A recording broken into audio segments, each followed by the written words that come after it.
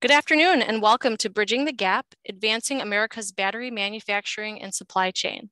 Before we start, please let me explain what you can expect at today's meeting. Your video and audio were automatically turned off when you joined. If you have difficulties related to technology, for example, if you can't hear a speaker or see the slide deck or visuals, we recommend you exit the webinar and re-enter. If you continue to have issues, you may also use the chat feature to send a message to AV support, who will then help you troubleshoot. The public chat has been disabled. So to ask questions throughout the event, please use the Q&A function, which is the icon labeled Q&A. You may upvote and comment on questions. If you submitted a video presentation and a question applies to your organization or your presentation, we encourage you to respond using the comment option located below each question. Finally, this event is being recorded and may be made available for viewing in the next few weeks. It is now my pleasure to introduce Venkat Srinivasan, Director of Argonne Collaborative Center for Energy Storage and Science, and Deputy Director of the Joint Center for Energy Storage Research at Argonne National Laboratory. Venkat, the floor is yours. Thank you so much, Bethany. So good morning or good afternoon, depending on where you are. And thank you all for attending the LiBridge workshop. As Bethany said, my name is Venkat Srinivasan. I'm a senior scientist at Argonne National Lab and the lead coordinator of the LiBridge Alliance. I'll also be the MC for this workshop, so you'll see me come on and off at different points during the two days. So just to remind you, LiBridge is a public-private partnership that is sponsored by the Department of Energy. We bring together the DOE National Lab System, that's the public side of the partnership, and the three US trade associations, namely NAATBatt, New York Best, and New Energy Nexus. They represent the private side of the partnership. You will hear from my colleagues from the other labs today and tomorrow, and from the trade association representative in this meeting. The goal of LiBridge is something very important. It is to create an innovation ecosystem to bridge the supply chain gap. And I think all of you know that supply chain has become extremely important. It's an extremely important topic, but it wasn't so five years ago or so. And there's a reason for that. This is an amazing time to be in batteries. I've been in the battery space for 20 plus years, and every few years I get really excited and I'll say something like, This is the best time to be in batteries. I think I'm finally correct. This really is the best time to be in batteries. The market for batteries in the US is booming, both for transportation and for grid applications. Over the next decade, the market demand is going to be in the range of terawatt hours per year. Think about that for a second. It used to be not, a, you know, maybe five, six years ago, a gigawatt hour sounded like a big number. And maybe 10, 15 years ago, megawatt hour sounded like a big number. Now we are talking terawatt hours. We are at a historic moment and we have an opportunity to take advantage of this unique time that we're in. But, there's always a but, to capture this moment, we need to build a secure supply chain in the United States from minerals all the way to battery packs. This is not a nice to have, this is a must have. Let us be very clear there is a worldwide race to capture the battery market. The world is moving to electrification, and the US industry needs to lead and capture this market. This is crucial for US competitiveness. But we also know that the growth has to be sustainable, it has to be environmentally benign, equitable, and we have to have a holistic view to satisfy all the different markets of batteries. Big ones like EVs and grid storage, but also smaller ones, but critical ones like batteries for defense. LiBridge was created to bring this holistic view and work closely with the public and private sector towards the vision of establishing a secure domestic battery supply chain. Over the next year, LiBridge will hold a series of events to pull together the ecosystem and understand the challenges and how best to achieve this vision. This workshop is the first of that series. Over the next two days, we want to hear from all of you about the exciting new technologies you're pursuing and the challenges you face in producing them domestically. This includes not just technological challenges and financial issues that you may be facing, but also important aspects like workforce needs, permitting issues that you might be facing, and also how do you involve the local community as we start to grow this industry. Let me quickly walk you through the agenda. At the start of today's workshop, we will hear from Argonne Lab Director Paul Kearns on the role of the national labs are playing in US innovation. This will be followed by presentations from DOE leadership on the administration's decarbonization plans and on the infrastructure bill as it applies to batteries.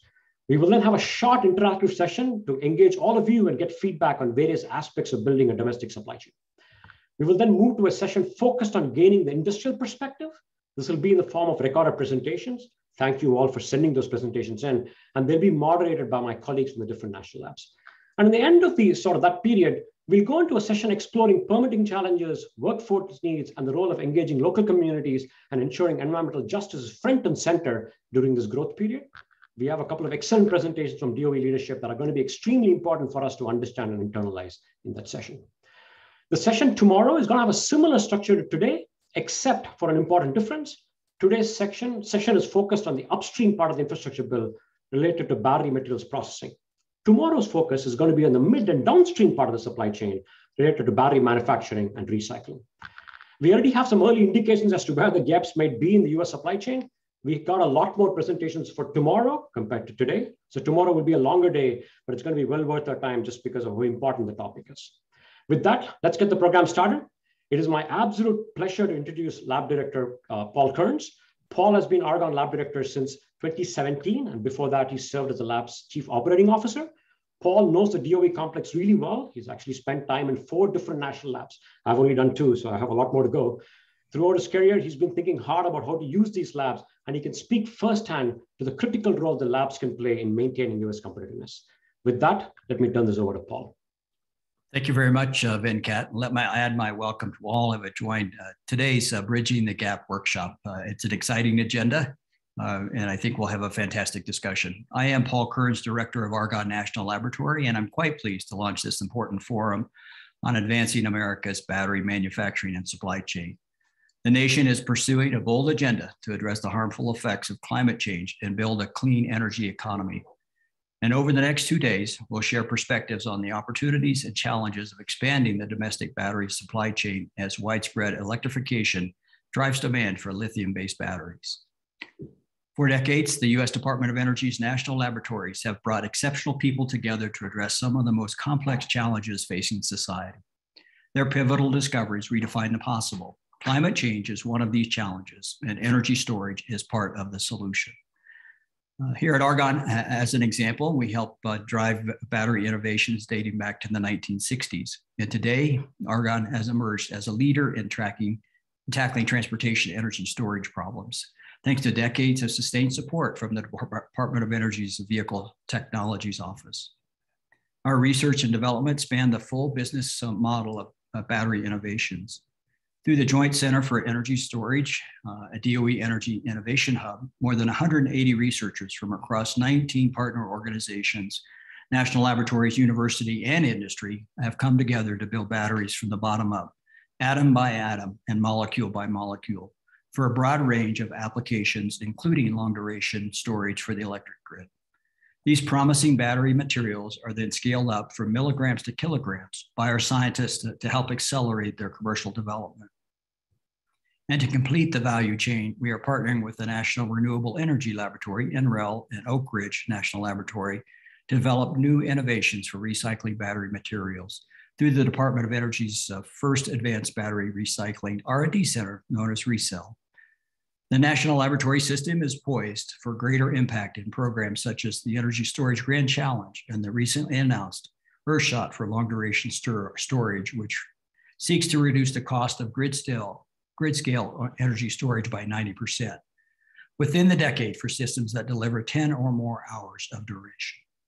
This is just a sample of the breakthrough technologies that are taking place across the DOE national laboratories in energy storage. Escalating threats from climate change make it essential that we, we redouble our efforts. The battery ecosystems faces many challenges, so we look to spur development and increase output. Scarce resources, difficult overseas suppliers, and increasing cost are all obstacles to a clean energy future. For these reasons and many others, it is imperative for us to work together to bridge the battery supply chain gap. Collaborating across many different institutions and sectors will help us quickly identify problems and craft, craft effective solutions.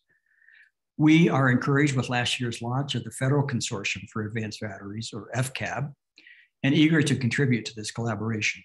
Last year, FCAB released the National Blueprint for Lithium based batteries, which described an aggressive vision to establish a domestic supply chain in batteries. Achieving the goals the vision and goals of the blueprint requires a concerted effort among our uh, government and private sector partners to develop the batteries of the future, mass produce them, and establish a resilient supply chain. To enable this partnership to take root, Argonne and excuse me, in partnership with DOE created LiBridge, a unique public-private alliance committed to accelerating the development of a robust and secure domestic supply chain, chain for lithium-based batteries. LiBridge is focused on uh, building, uh, bridging gaps in uh, lithium battery in the lithium battery supply chain and marks the first collaboration of its kind in the U.S. battery industry. Argonne is working with our fellow national lab laboratories across the country to support the public portion of LiBridge. We are, we are excited that Deputy Secretary of Energy Dave, David Turk and Vice uh, President of the European Commission for Interinstitutional Relations and Foresight, Maroš Šefčovič, uh, recently announced their support for collaboration between the European Battery Alliance and the LiBridge Alliance to accelerate development of robust supply chains for lithium ion batteries. Over the coming months, we will work closely with our European colleagues to build on this partnership and identify key areas for deeper collaboration. In addition to FCAB and LiBridge, the administration has made a significant investment in our research efforts. The bipartisan infrastructure law uh, allocates an additional $62 billion uh, to the US Department of Energy. It gives the department a clear mandate for technology deployment and demonstration with defined program uh, uh, responsibilities and the funding uh, to make things happen. With its resulting organizational realignment, DOE is better positioned to empower the full innovation cycle uh, from uh, research to deployment to address climate change more effectively with clean energy technologies and secure our nation's long-term economic and scientific competitiveness. And with LiBridge, we have an excellent model for building public-private partnerships because we recognize industry's essential role in meeting the administration's goal for a carbon-free electric grid by 2035 and a decarbonized economy by 2050. That's why I'm pleased to see this workshop has convened leaders from across the DOE, the national laboratories, academia, and certainly the private sector. It's fantastic to see more than 1,400 people registered from across 42 states, half of which are from industry. We also have uh, 12 national laboratories and 51 universities represented here today. Uh, together, we will review 12 key aspects of the supply chain that span uh, battery material processing to manufacturing and recycling. More than 100 videos have been submitted from US companies representing all parts of the supply chain with their view on what is needed to develop a sustainable US uh, battery industry. Our discussions will aid LiBridge in disseminating information on the important challenges and opportunities for industry in establishing domestic battery manufacturing. As recently described in President Biden's 100 day supply chain report on high capacity batteries and the national blueprint for lithium batteries. We are excited to engage in these conversations with all of you Today and tomorrow, we'll expand the role of energy storage as, an, a pivot, as a pivotal enabling technology for deep decarbonization of the energy system. To that end, we have impactful keynote presenters and engaging, engaging panels. I certainly encourage you to contribute your expertise to the workshop, ask questions, uh, debate the issues, and share enlightening insights and promising solutions. Thank you again for being a part of today's uh, workshop. I want to express my appreciation to all the presenters and panelists who will speak today. Each is an expert in their field. They're helping industry and the scientific community bring a clean energy future to all. Lastly, we are grateful for the DOE leaders, national lab partners, and other federal and state officials who are driving this initiative. The research we do wouldn't be possible without them. Together, we are accelerating science and technology that will drive US prosperity and security. Now I'm pleased to hand things over to Michael Berube, Deputy Assistant Secretary for Sustainable Transportation at the Office of Energy Efficiency and Renewable Energy. In his role, Michael oversees EERE's sustainable transportation sector, which includes the vehicle, hydrogen and fuel cell, and bioenergy technologies offices. Previously, as the director of the Office of Vehicle Technologies Office, uh, Michael led an array of activities that help reduce America's dependence on foreign oil and secure a clean energy future. He brings more than 25 years of experience to the automotive industry, specifically in the areas of environmental compliance, energy and safety policy, and product development and marketing. With that, let me welcome the Deputy Assistant Secretary. Michael, please. Thank you very much, Paul, and uh, really excited to be here. Thank you also, Venkat, um, for helping to pull all of, all of this together. Uh, as Paul said, there are a lot of national labs involved and present here. Certainly, uh, many thanks to Argonne for their work in helping to lead and coordinate uh, the LiBridge partnership. But uh, I'd, I'd, be remiss if not trying to at least attempt to mention many of the other ones. You'll hear from people from uh, from NREL and Oak Ridge National Lab, Lawrence Berkeley National Lab, our you know partners INL, PNNL, Brookhaven. There, there's many. Um, and the point of saying all that is this is a, a team effort uh, not just across the federal system, but with, with all of you. So let me, um, I, I, do have some slides I'd like to walk through to share with you a perspective of where we are within the Energy Efficiency and Renewable Energy Office at DOE and uh, where our priorities are, and then bring it home to um, at least my, my view of the challenge for, uh, for the group here.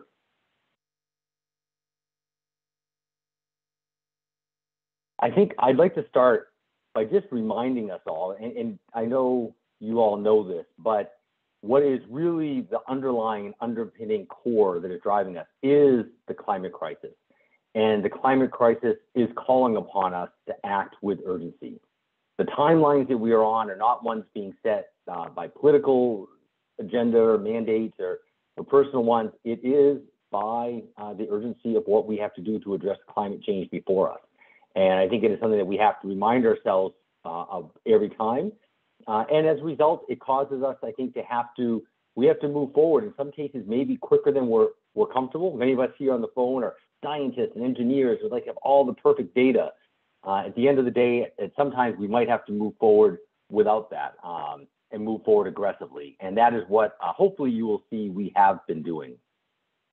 Let me just touch on first the overall um, the overall picture from an EERE perspective. Our overall mandate within EERE is to accelerate the research, development, demonstration, deployment of the technologies that will get us to a 100% clean energy economy. 100%. That is a ambitious, audacious goal, but again, it, it is what we are called upon, what we have to do. We need to get 100% decarbonization of electric grid, 100% clean grid by 2035. Decarbonize transportation, which we'll certainly talk about more decarbonize energy intensive industries, address the carbon footprint, footprint from our buildings, and also the agricultural sector. But uh, as you'll see in the discussions today, as we talk about achieving that greenhouse gas reduction levels, we have to also take into account workforce, our diversity in STEM, environmental justice and equity, and working at the state and local level. So what does economy-wide decarbonization look like? you know, here's the pie chart. Um, this is where the emissions are. We have to address every single piece of those. And that's within EERE what we are setting out to do. Not to have a vague general goal, but to lay out specific plans within each one of these. So within transportation, the transportation is the largest source overall of greenhouse gas emissions, as many of you know. This shows you the breakdown of where those emissions are. Cars, trucks, medium and heavy duty, off-road, aviation, rail, maritime, we need to address every single one of those pieces. We have to take into account, of course, that you know transportation is a huge expense. I mean, today it's obviously front and center in front of all of us with the rise in gas prices because of the uh, invasion and war in Ukraine. But um, but even before that, transportation was still the second highest expense for a typical American household. So that is something we have to take into account, as well as the global competitiveness. I mean, again, the, the current world economic and political situation is reminding us again of the critical nature of the energy economy and that we need to do everything to reduce that volatility in our energy economy overall. You know, and the other key aspect, as we're doing this, we have to remember transportation drives the business of our economy. It drives literally right, the people's ability to get to work, get to school, uh, get to health care, live their lives daily. So we have to make sure that we're providing a transportation system that works. And we have to recognize that we're going to have growth in our transportation. As our economy grows, which we certainly want it to, we also will recognize there'll be an increased need and demand for transportation. So we can't stifle that. We can't cut our way to zero. We have to find technological solutions as well as economic ones and ones that work for everyday people. So what does that look like? You know, achieving net zero, it's going to require us to change from the status quo dramatically. So here are kind of key points from our perspective of what that strategy looks like. First, we have to recognize that incremental change doesn't get us there. We need a discontinuous pathway.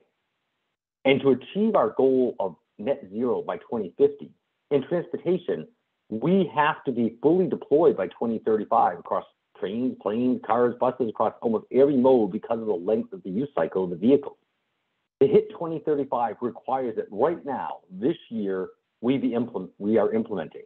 I'm very proud to say, as Paul uh, Venkat uh, alluded to, I mean, every day you're hearing the announcements that do indicate we are moving, but we have to continue to move at this pace for a number of years. I think we also have to recognize that the magnitude of change we are talking about, we're not talking about a 10 or 20% reduction, 100% decarbonization. We are impacting every person's life in every industry.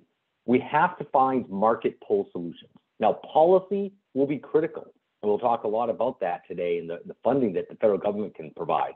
But at the end of the day, we can't just mandate our way there. We have to find solutions that do have a market pull basis if we're going to affect this amount of the economy overall. As I mentioned before, we have to recognize the growth of mobility. And when you do that, and when you look at all the options, the, the simple math is that we have to have fundamental fuel switching to low carbon fuels like batteries that are powered by a clean electric grid and also vehicle uh, vehicle level efficiency improvements. Those are the only things that get us the magnitude of change that we need to achieve. Certainly, achieving 100% clean electricity grid will also be critical. We in are assuming that now. I, am lucky. I uh, that's one part uh, that I uh, I don't personally have to I worry about, but I don't personally have to be responsible for. But I have many colleagues at DOE who are focused on exactly that. And as was mentioned, batteries that we are talking about today are going to be a key role in achieving that overall clean electric grid, as well as hydrogen, we believe. So the work we're doing here, while you know I'm speaking to it from a transportation perspective, we have to recognize they're also going to be critically important for the grid.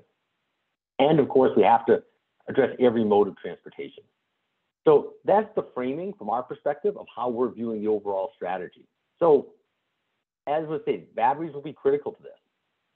And the good news is that there has been a tremendous amount of move in the last year on the government and private sector side. On the government, nearly $7 billion in infrastructure bill for batteries directly, 7.5 billion in EV charging infrastructure, as well as over 10 billion more in specific demand signals through electrifying school buses, electrifying transit buses, uh, as well as the government fleet itself.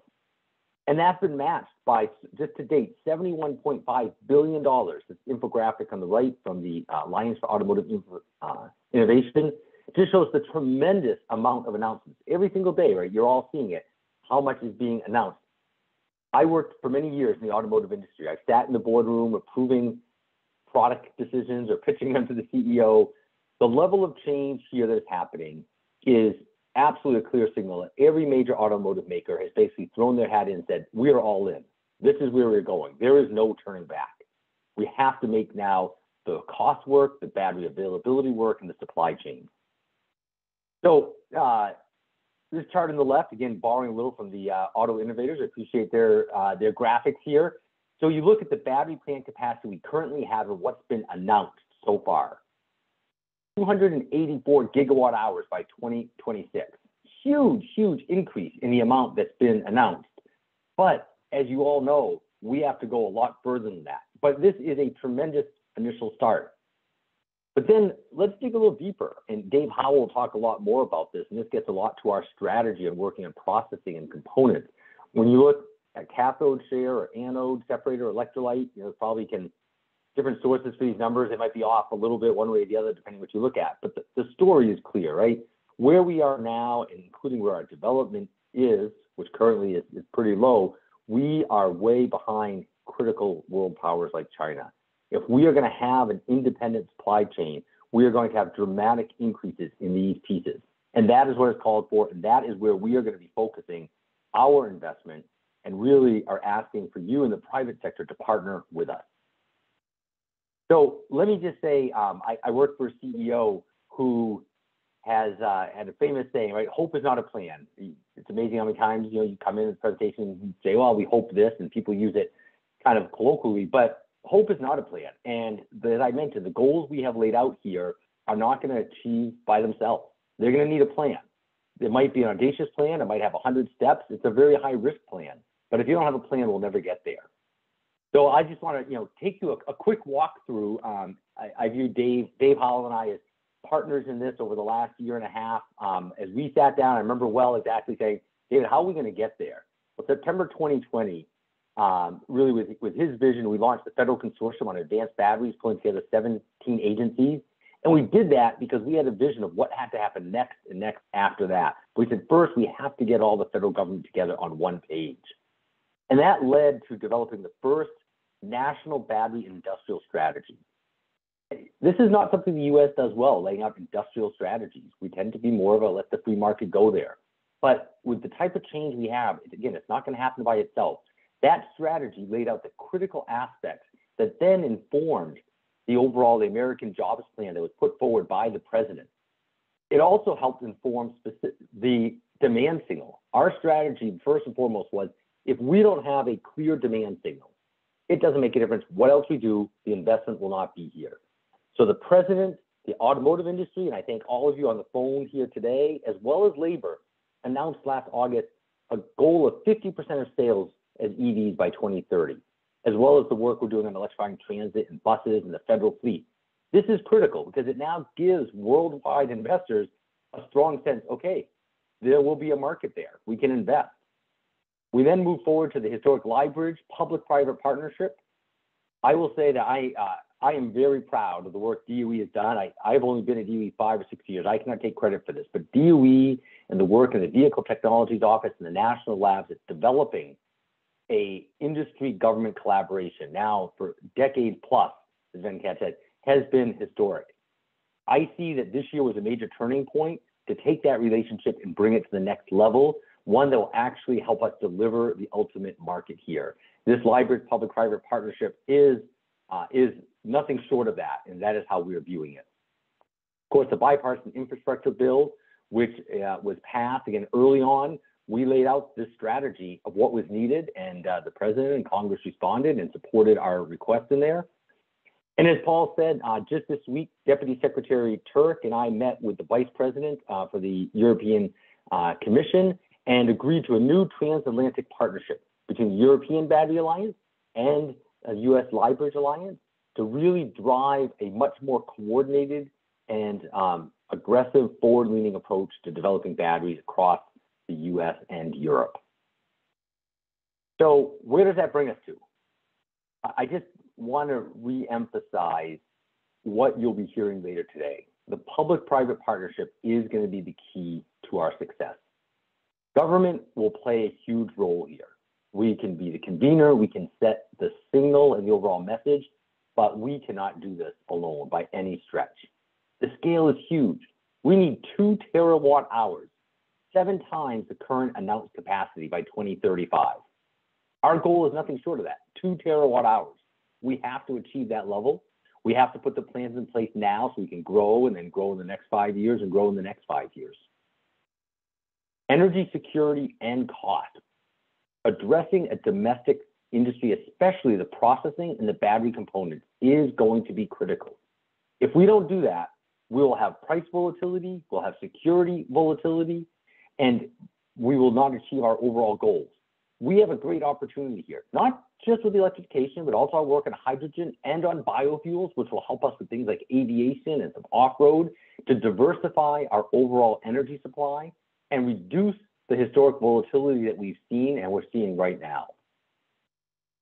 And then let me just hit these last two points, critically important, workforce transition and the fact that we have to bring all Americans along with us. If we're going to achieve this level of change, we're asking every person in this country to change the type of fuel they're using, how they fuel their vehicle. We're asking every business to change that. They have to see this in themselves. They can't say, electric car, I don't see that.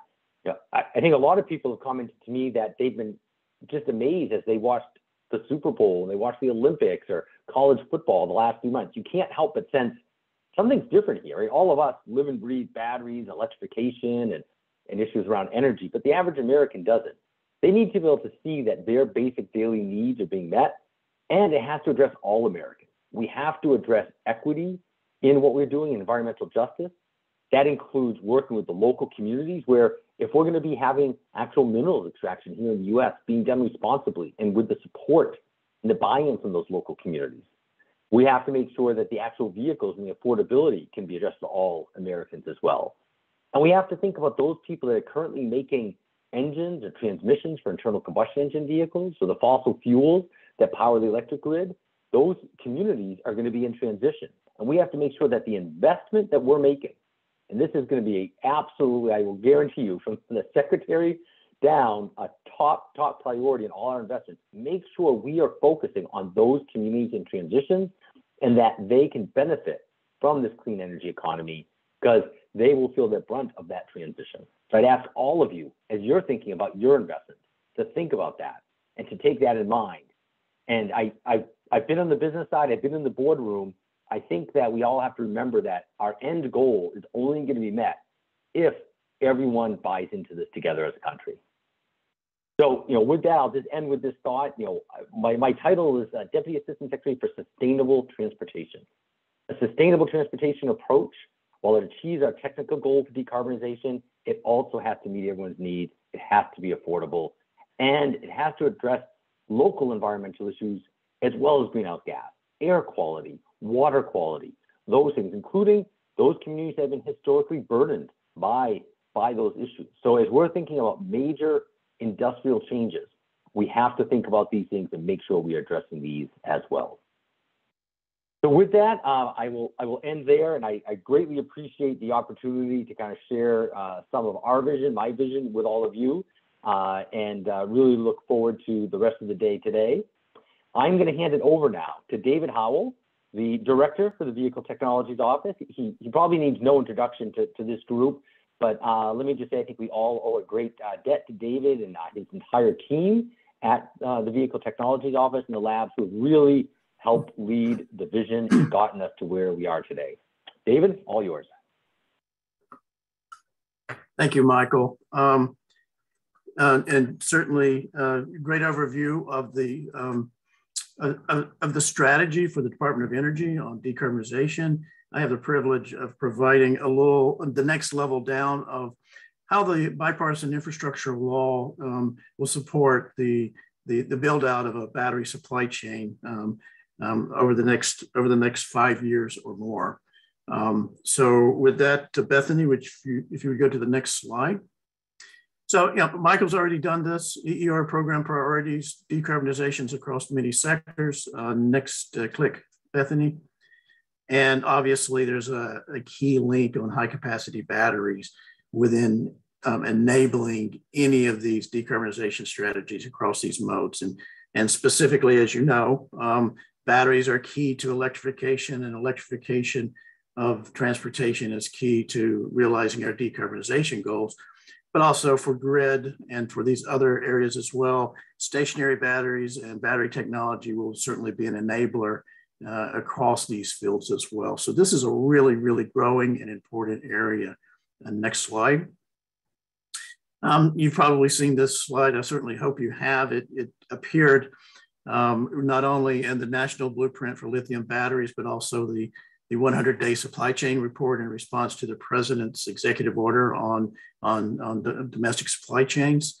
But when you really look at the projections um, at, at, this time last year, um, in terms of global expansion of lithium battery demand and global expansion of manufacturing capacity, you see this trend. And um, you know whether it's the low low bar or the high bar, the trend is it's up over over um, over the next uh, you know five to ten years. And what we've noticed is the the later projections, the ones in 2020 and 2021, seem to be more and more accurate. And as you get into more and more projections, as Michael said, the the acceleration even even grows rapidly. Um, next click, Bethany. And uh, this time last year, uh, we were growing from 59 gigawatt hours of capacity, battery production capacity in the United States, uh, specifically lithium ion battery production capacity. Um, in 2020, um, from 59 gigawatt hours to a projected 2024 gigawatt hours in 2025. Um, and those were announced, announced uh, announcements of, of plans by industry to install this in additional um, production capacity. As Michael just mentioned, when you look at the new uh, projections, that 224 gigawatt hours goes goes now 340 gigawatt hours by 2026. So what we're seeing is the, the projections are maturing, are, are, are materializing within, within, within the United States. And so battery capability, particularly high capacity batteries such as lithium batteries, going to be very, very important for our economy going forward. Uh, next slide. I mentioned the president's executive order on America's supply chains and the 100 day report. And this was a federal effort uh, that DOE had the privilege of leading. Uh, but I'll underscore this was truly a federal effort and engaged with our industry partners here in the United States.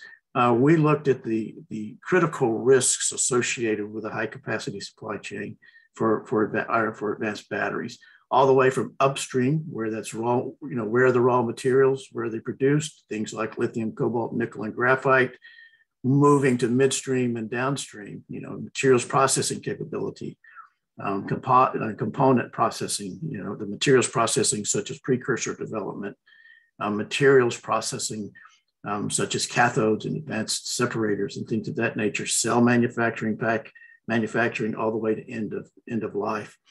And we identified some key vulnerabilities, of course, um, in the upstream and, and early midstream. You know, class one nickel, lithium, and cobalt are the primary supply chain vulnerabilities, but there are others as well, as, as identified in the report. In the midstream area, in that material processing area, um, vulnerabilities such as uh, uh, a, we have a significant deficit in, in mineral refi refining and, and, and, processing. You know, that stage of the, of the materials um, supply chain that's just before you get into a component battery, uh, such as a, a, cathode. And of course, going to midstream, you know, cathode and anode production, as Michael showed. Oops, if we could go back one slide. Yeah, and um, so in, in, the cathode area, um, in anode area, production capacity is sorely lacking, as Michael showed on that slide. And I think this is going to give me a little trouble here. Um, but across across the supply chain, all major battery components, uh, including cell production, you know, as Michael mentioned in, in his presentation, we need to get up to two terawatt hours of capacity, even in cell production. And of course, on downstream, you know, the US lacks other markets in lithium battery recycling with less than 5% recycle a year, and we need to change that. Um, now, the next slide. So, thank you. Um, so, uh, and Michael mentioned FCAB, the federal consortium, uh, in the national blueprint. And in parallel to that 100 day report, the, the federal agencies uh, band together to develop the strategy for us and hopefully for, for industry as well signifying th- uh, five key goals that we're trying to achieve over the next 10 years across the battery supply chain, whether it's in minerals, battery materials, cells and packs, recycling, and innovation. And we've outlined key activities that we will take on as a federal agencies, either um, in our in our routine daily mission space or even collaboratively um, across the federal agencies to achieve those key targets. So we're marching out right now. We've developed working groups across these spaces to assure that the federal agencies um, um, are actually um, working together and synergistically in order to achieve these goals. You know, as Michael said, that's 17 federal agencies, but represents about 50 offices within those agencies. And you know, um, you know, we DOE has the privilege privilege of leading this effort, but you know, um, it is truly a, cross the federal government effort. And our leadership also includes the Department of Defense, Department of Commerce, and the State Department as well. Um, next slide. So the, the bipartisan infrastructure law, and I'm sure everyone knows this, but it included several provisions uh, to, to build out, to help build out that battery ecosystem. And provision one, 40207B, is, is focused on battery material processing grants. And it provided $3 billion over the next five years, you know, basically $600 million a year to um, support the build out of, of the separation of materials from extracted feedstocks. And of course, as I mentioned, materials are processing or refining. That money will be matched minimally uh, by industry So that's a minimum of a six billion dollar play over the next over the next five years plus. And then, of course, associated that and in parallel, there's section 40207C, and that's for battery manufacturing and recycling grants. Again, $3 billion total over five years matched by industry. So a $6 billion play. And that focus is on component processing of, you know, of, of, battery components, uh, such as anodes, cathodes, electrolytes, and such. Um, also, cell manufacturing, pack manufacturing, and the establishment of recycling facilities across the United States. There's a, also another provision uh, that I'll speak on today. It's really uh, focused on research, development, and demonstration in the um, end of life recycling and reuse area. That's section 40208.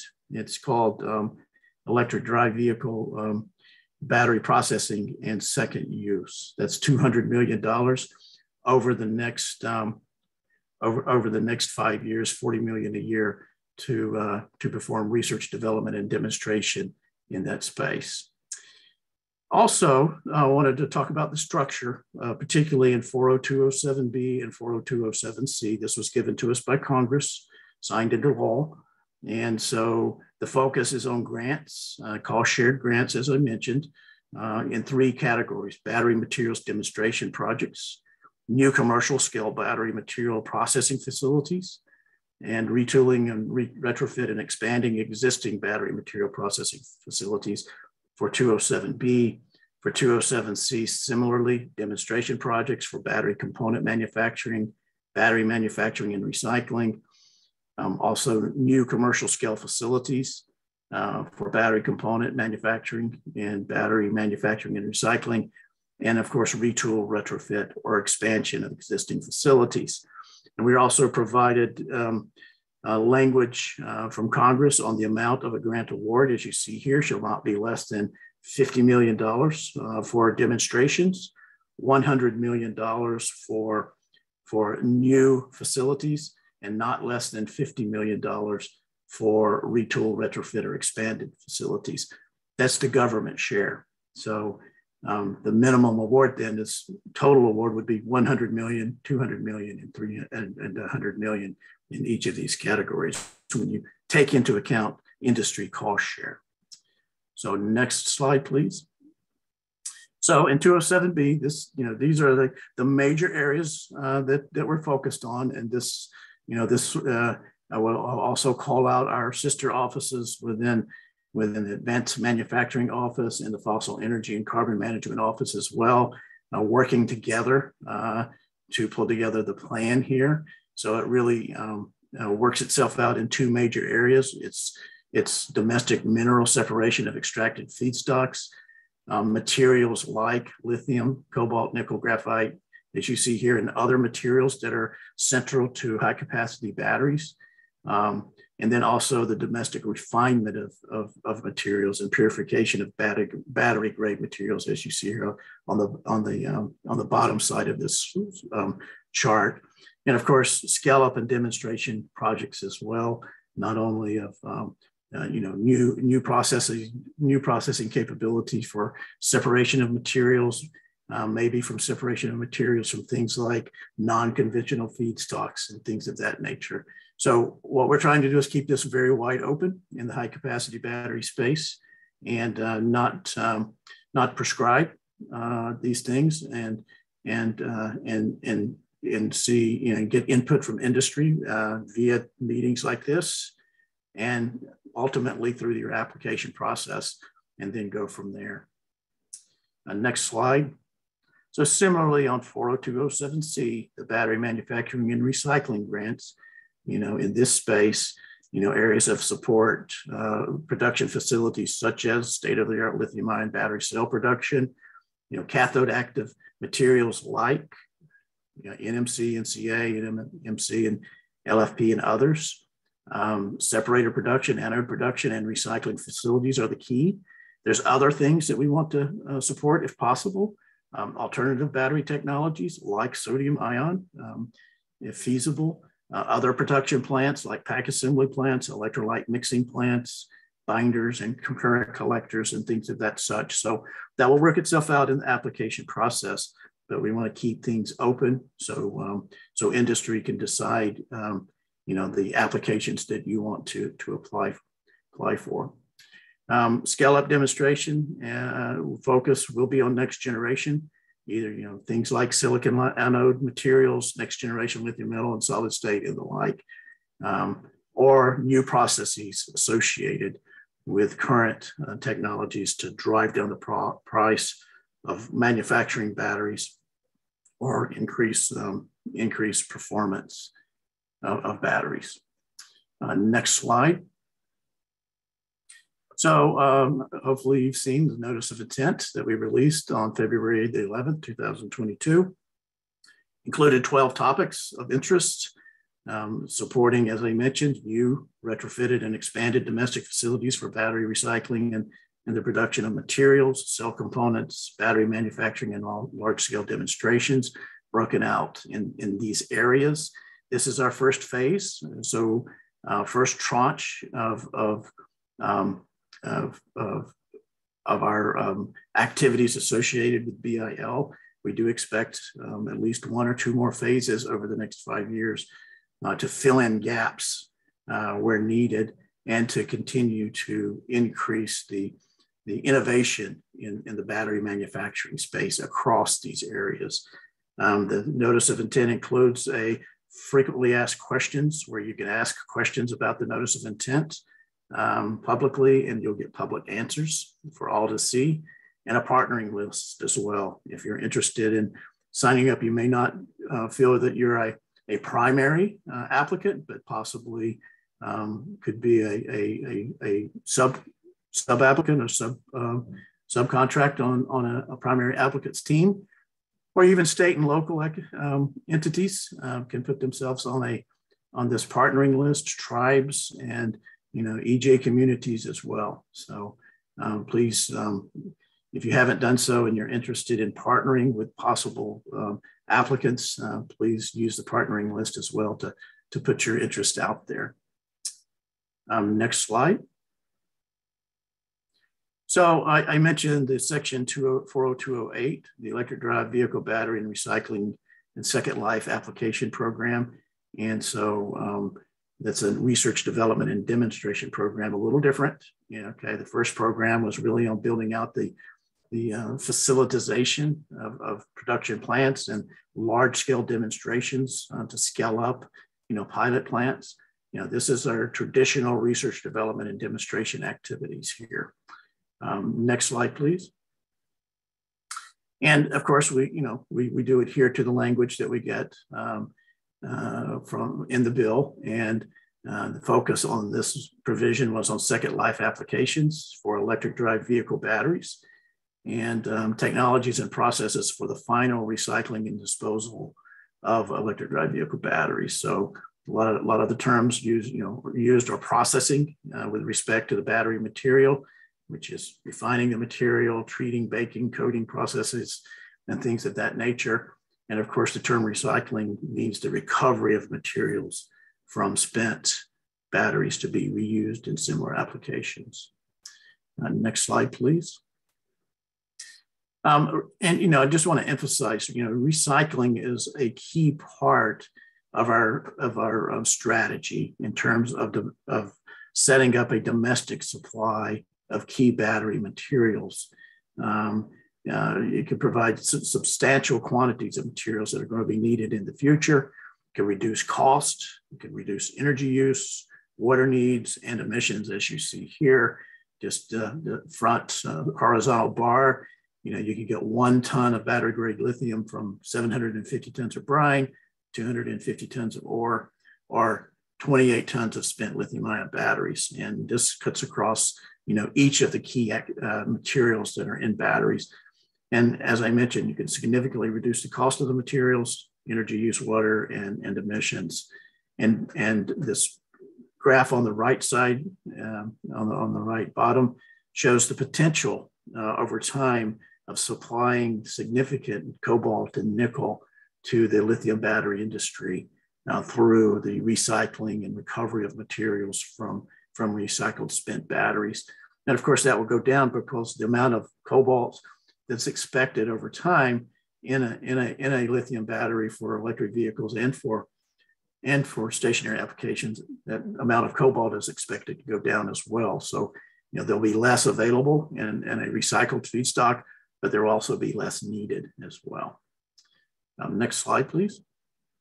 So uh, one of the notices of intent that we released on February the 11th um, included uh, a, a, notice of intent for a potential funding opportunity um, uh, in this space. Um, and this is really, a, it says to invest 3 billion to strengthen, that was the overarching um, title of the release.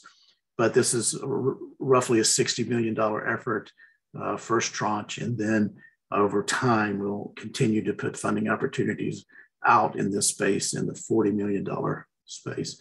Focus here is on two topics, the recycling, processing, and reintegration of, of, of uh, materials into the battery supply chain.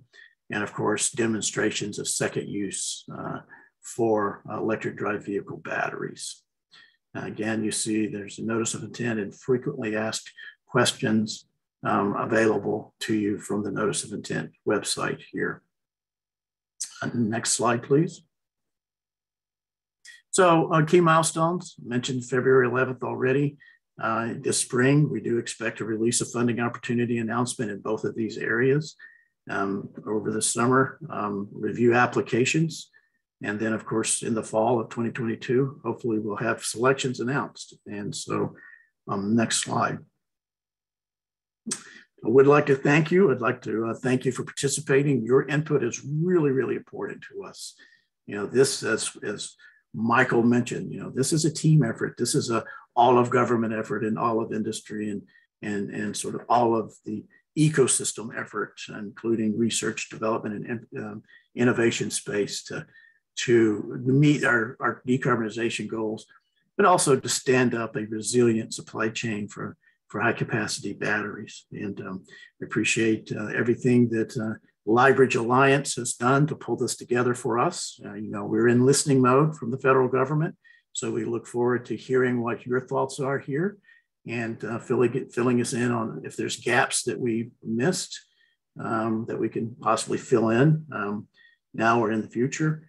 And of course, uh, really appreciate the LiBridge Alliance pulling this together, Argonne National Laboratory, your team, and um, thank Paul Kearns specifically for, for his leadership here and um, all the national laboratory leadership as well to, to help the help the um, the Department of Energy um, in our vision in this space. And, and but most of all, definitely want to thank you as stakeholders for taking your time out to do the videos, taking your time out to provide input to us because it's really, really important as we go forward to get this right.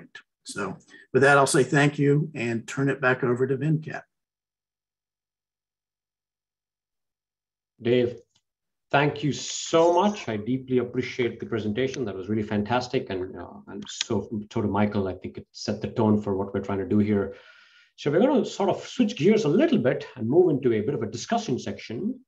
And the way we're going to do that is uh, we're going to move into a sort of a software called Poll Everywhere.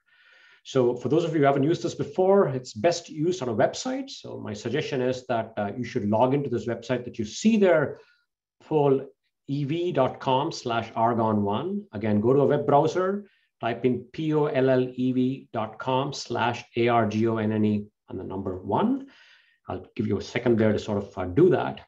So please do that. Uh, turns out that I'm seeing a few people that have called in using a phone. This particular uh, sort of system doesn't work but very, very well when you start using it in terms of uh, doing it on a, on a phone itself. I see the first question has actually popped up the, you know, the first question is being, do you own an electric car?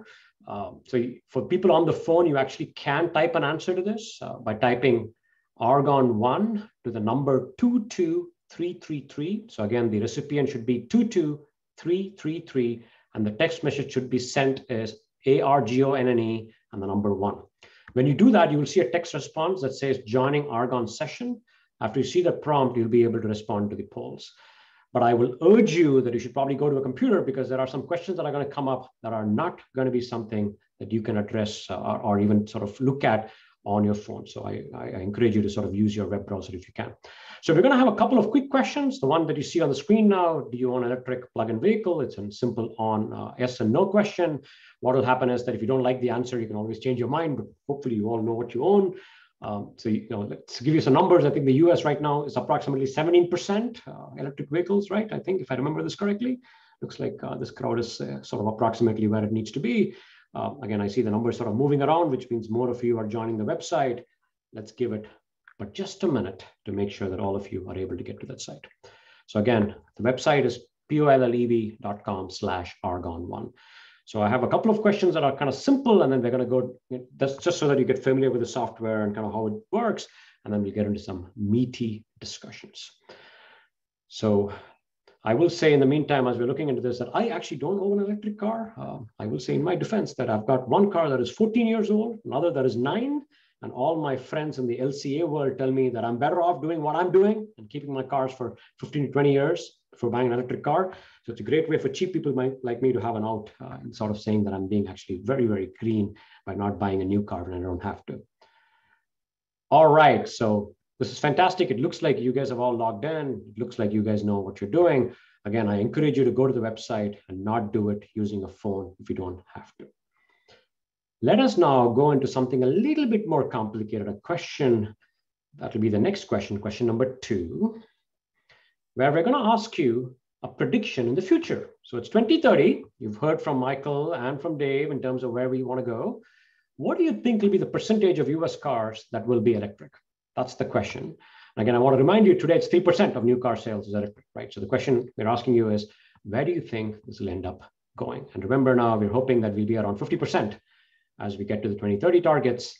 So we're asking you to sort of do this. Again, if you don't like the answer, it will give you an option to kind of click and sort of change your uh, response. And that hopefully will give you a chance to sort of uh, see what is it that you're doing if by mistake you kind of click on something you didn't mean to click on. Again, the question is, what is your prediction for where we will be in 2030? Let's give it a minute so we can get people to respond. When you see the bars jumping, it means that people are actually still logging in and doing things on this question. I will say that at uh, Poll Everywhere, uh, sometimes you will see a lag. You might still be in the previous question. For those of you who are not on question two, give it a second. You may need to refresh your browser. This hasn't happened to me. Mine seems to work pretty well, but if you're having any issues because of low internet bandwidth, that might be something you have to do. So you can see where things stand. It looks like uh, some people, at least a small percent, believe that we'll be getting up to the 60 to 80% mark. This is really fantastic. Uh, I guess we missed the 40 to 60 in this question here. So there could be a wide range of people that are actually thinking about the box in between the 20 and 40 and 60 and 80. Uh, and then it looks like some people are not that uh, uh optimistic. They think it'll be still in the low numbers.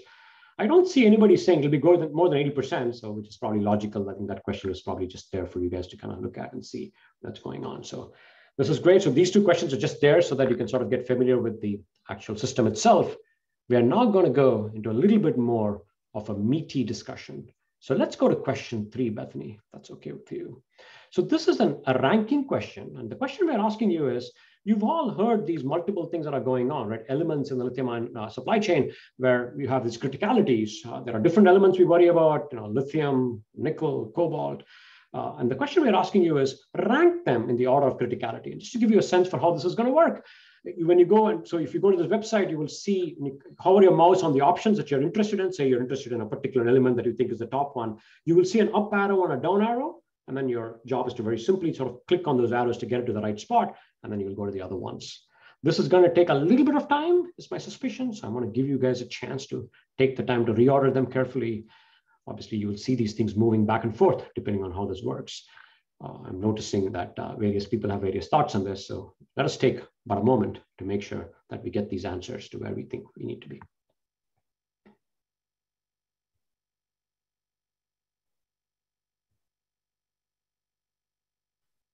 Again, I'll remind you that uh, every battery we're talking about, uh, at least the ones that are commercial today, has lithium, has nickel, has cobalt, has manganese, has graphite.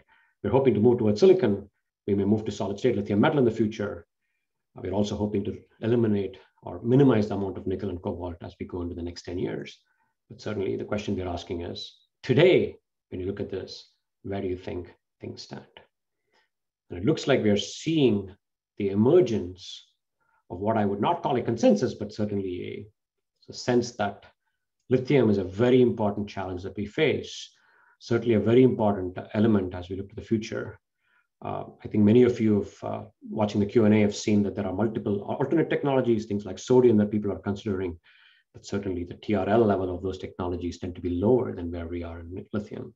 Nickel is interesting. Uh, I think we all saw what happened last week uh, when uh, nickel tra trading had to stop in the London Metal, Metal Exchange because of the Ukraine uh, situation. So certainly that's a that's a increasingly I think important problem that everybody's worrying about.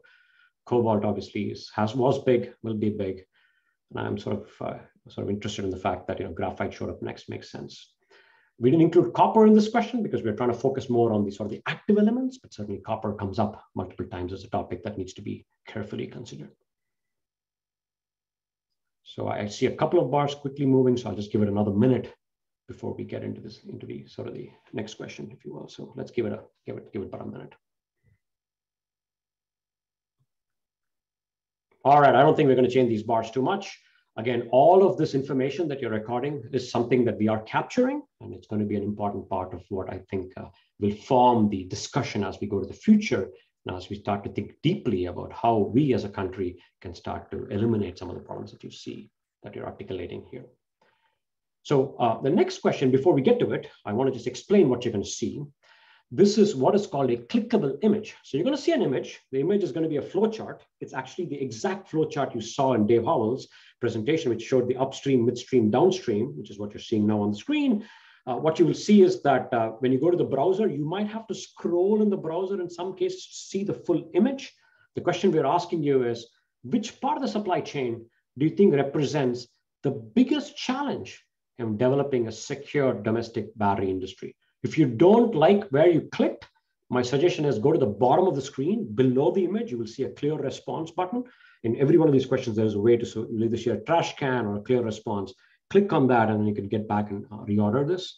So again, the question we're asking is, where do you think the biggest challenges are in the supply chain? Uh, hypothetically, you can sort of think of this as uh, if somebody has a lot of money, say in the order of $7 billion, I don't know exactly who has it, they might be thinking about where to invest those dollars. So this is an opportunity for you all to weigh in on where you think the biggest challenges are. And I see a lot of arrows showing up in the top of the flow chart, which is really fantastic. Uh, what I'm going to do in the meantime is I'm going to see if I can add a question into the Q&A window for people who are very good at sort of doing this fast. And I'm going to ask one of my colleagues who are on the back end of this to sort of release that question if they see it. What I'm hoping that you guys will do is tell us more about what it is that you're seeing that is telling you to click on that particular spot in the image. For example, if you clicked on the very top of the image in the upstream part, what happened? What do you see in your world? Tell us those stories because that's going to be very important for us as we move forward. I'm seeing a lot more icons now kind of showing up in the recycling part, which is also obviously extremely important as we heard from others. Again, I, I want to see if the Argonne team can release my question if they see it.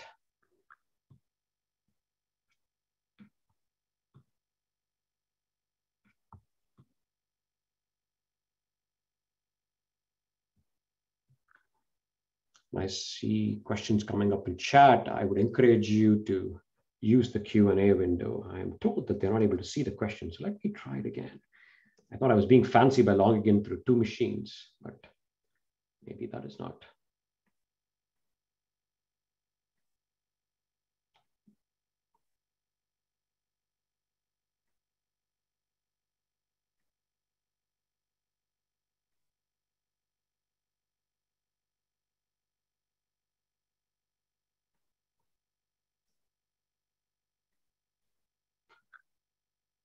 I still see things moving. I am trying to add the question, but it's having difficulty, I think, in picking it up for some reason. So again, uh, what, what I'm, I'm going to suggest is that if you guys use the Q&A window, not the chat window, to tell us a few stories about what you think the biggest challenges are and why you clicked on where you clicked on. But you can see the results of this. A lot of interest, I think, in the upstream, the, in the sort of the part of the diagram or the midstream part of the diagram, and certainly interest in the end of life recycling part of the diagram.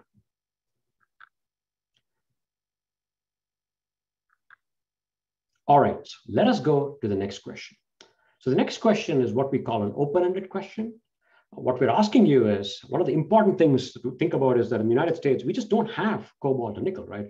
You are where you are, and the ground has what it has, and you can't, your business plan can be, let's wait for a meteor to fall on our soil. So the question we're asking is, what unconventional sources should we be using to, to, to address this problem, right? You, you guys already clicked on various things like lithium as a problem, nickel as a problem, cobalt. Tell us what you think is going on in five words or less. So, you know, channel your inner Hemingway when you do this so that you don't see long answers here. I see exactly what people should be doing. They're typing in the answers, the two words, three words. This is fantastic. Geothermal brine, certainly something that is going on in the Salton Sea. Uh, I could see, you know, collaborations with allies. Oh, that's fantastic. Seabed mining, you know, that's, a, that's an important topic. I think that is uh, gaining interesting. I see another one with global partnerships.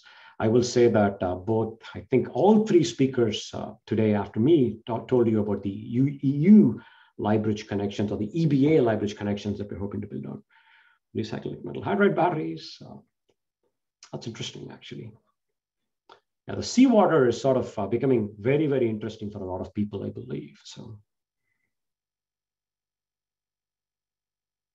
petroleum coke, yeah. The cobalt mine in Idaho, that is interesting. I mean, I don't know if that's a, would you call that unconventional source? Maybe you do. That's that, that's a great one. So keep the answers coming. You can sort of see them. They're coming in a good pace. Uh, again, we're capturing all this. Uh, we deeply appreciate the fact that you guys are taking the time to do this. I could see more people talking about, uh, oh yeah, streamlining permission. Keep that in mind, who put that in, because we're going to be talking about permission very, uh, I'm, I'm sorry, permitting very soon, uh, both later in the day and again tomorrow. So Now, overseas collaborations, seawater, you can see these various things coming up. Urban mining, yep, very important topic.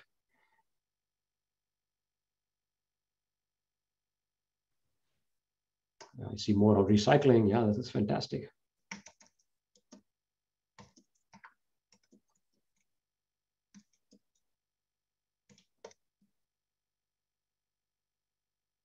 Uh, you know, this is fantastic. You guys are talking about uh, regulations and issues of that nature. I actually have another uh, Q&A question for later in the day, specifically on that topic, and certainly an important question to address. Uh, as we go to the afternoon session, for people who are uh, thinking hard about the whole permitting challenge, please let us know. Again, Q&A is a great place for you to sort of tell us a little bit more about what your challenges are. We want to capture that and we want to convey that to the relevant uh, stakeholders. Large deposits in Canada, yep, very important. Synthetic graphite, yep, this is fantastic.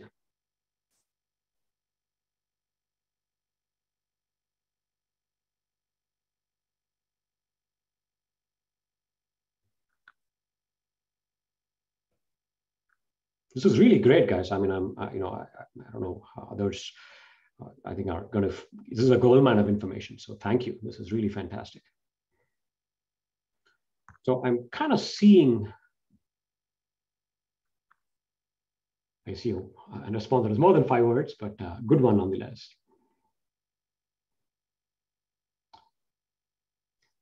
This question is uh, really going well. I think all of you have a lot of things to say.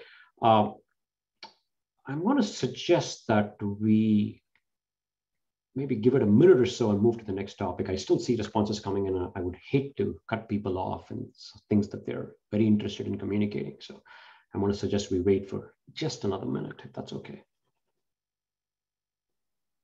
I see a lot of recurring themes, seawater, uh, global partnerships, mine tailings, yep. I see the, you know, the whole Salton Sea areas, brine aquifers. Yep, this is great.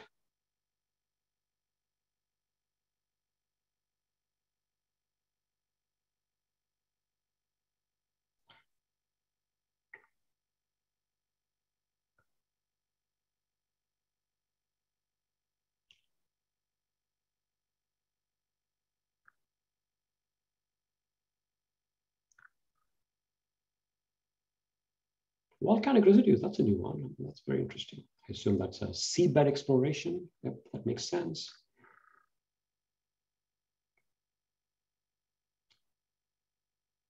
All right, folks, in the interest of getting more questions and answers, I thank you all for taking the time to do this. I apologize that even though you're still typing things, we're going to move to the next question.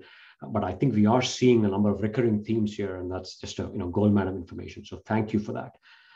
So Bethany, if you're okay with that, we should probably move to the next question. So uh, this is an important question that we're going to ask you. Uh, as you can kind of think about it, right? Uh, you probably are aware of the fact that there's going to be this need for us to think about, uh, uh, you know, there are new suppliers for things that are coming on board. This could be a new, you know, you know, you, you may be saying, you know, I have a company that's doing seabed mining, or you might have a company that's saying, you know, I have a new way of getting cobalt into these things. So the question we're asking is, uh, you know, when you are a new supplier, how do you rank the importance of uh, the different things that you would do before you say that I'm going to sign a contract with you guys and sort of you know use your material or use your sort of your precursor that you're having. So we have a few different things. Again, this is a ranking question. So hover your mouse, click on the arrows, and start to kind of move them to the right spot, uh, and tell us what do you think are the most important ones. So just to give you a sense for what we're thinking of, production capacity. Obviously, if you're talking about gigawatt hours, you got to have production to that level. The track record of the company, right? So how important is that? Uh, how important is having a differentiated performance? Uh, are you looking to diversify with existing performance, or do you feel like it's important to go after suppliers who have something a little bit new? And last one is you, know, you might be worried about warranty, right? In, in, which case, what kind of financial reserves do you think this company needs to have before you feel like uh, you will be comfortable kind of doing something with them? That's the question we're asking.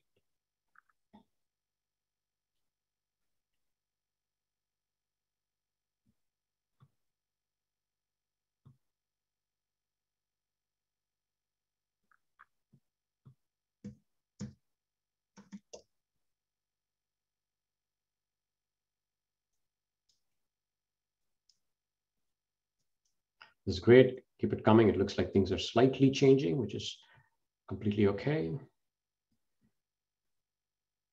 Uh, looks like you know people are gravitating towards production capacity. Very appropriate. Um, looks like the track record of the company is important. It's interesting that the financial reserves are not that important. Uh, you know, I know I was talking to somebody or emailing somebody over the over the weekend on this topic, and that is very interesting. That uh, it ended up being the fourth on this list. That's actually great news if you're a small company uh, certainly the track record is important for the company, but certainly the fact that uh, you might be running lean might be okay. So, and the fact that differentiated performance doesn't show up is, is, is interesting, I think.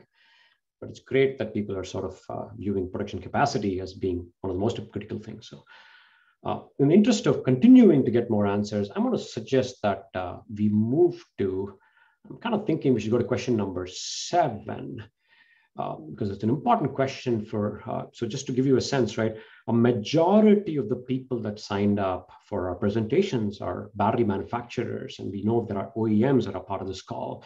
And for you guys, the question we wanted to ask you again, in our Hemingway folks, five words or less, what is the rate limiting step for you to qualify a new supplier, right? So in the previous one, you told us production capacity is important, but what is it that you worry about in terms of rate limiting step, right? As you know, we gave an example, but don't you know, feel free to tell us what you are really worried about. The example is just to get you get your juices thinking. If the answer is the example, that's that's fine too.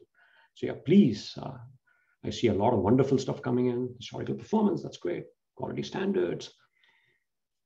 Current efficiency, somebody says, that's that's great. Uh, geopolitical location, that's interesting. Uh, quality and capacity. Interesting. I see one on carbon footprint. That's fascinating. That's that's great to hear, frankly. Yeah, again, I want to repeat the question. Right? We're asking what is the rate limiting step? So, you know, some of the answers coming in seem to be more of uh, why would you choose a new supplier? But again, we're asking what is a rate limiting step in choosing one? So, as an example, you might be saying, hey, your quality control, the one I just see there, may not be where it needs to be. You have to be ITAR certified before we touch you, right? So that's the kind of answer we're looking for. So this is great. Keep it coming. This is fantastic. I see a lot of questions coming in that are very pertinent to, to this. So let's give it a minute.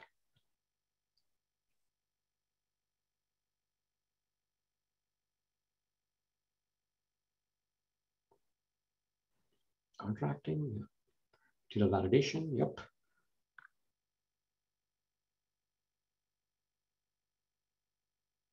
Demonstration of growth, yeah, that's interesting. That's an interesting comment. Engineering research shortage. I don't know if that speaks to workforce. So if that is what you're speaking to, keep that in mind. They're going to be asking you about workforce, which I think is a significant issue, as we've heard from multiple people. So we are looking for you to tell us more about your challenges in the topic. A cultural difference is an interesting one.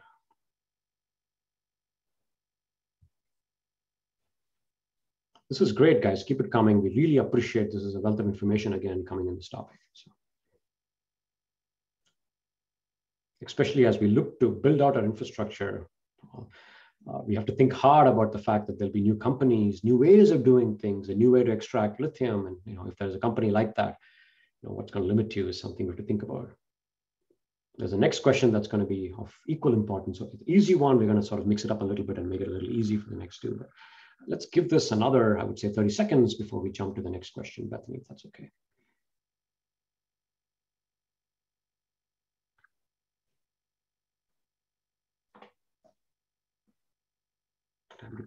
This is great. This is fantastic information.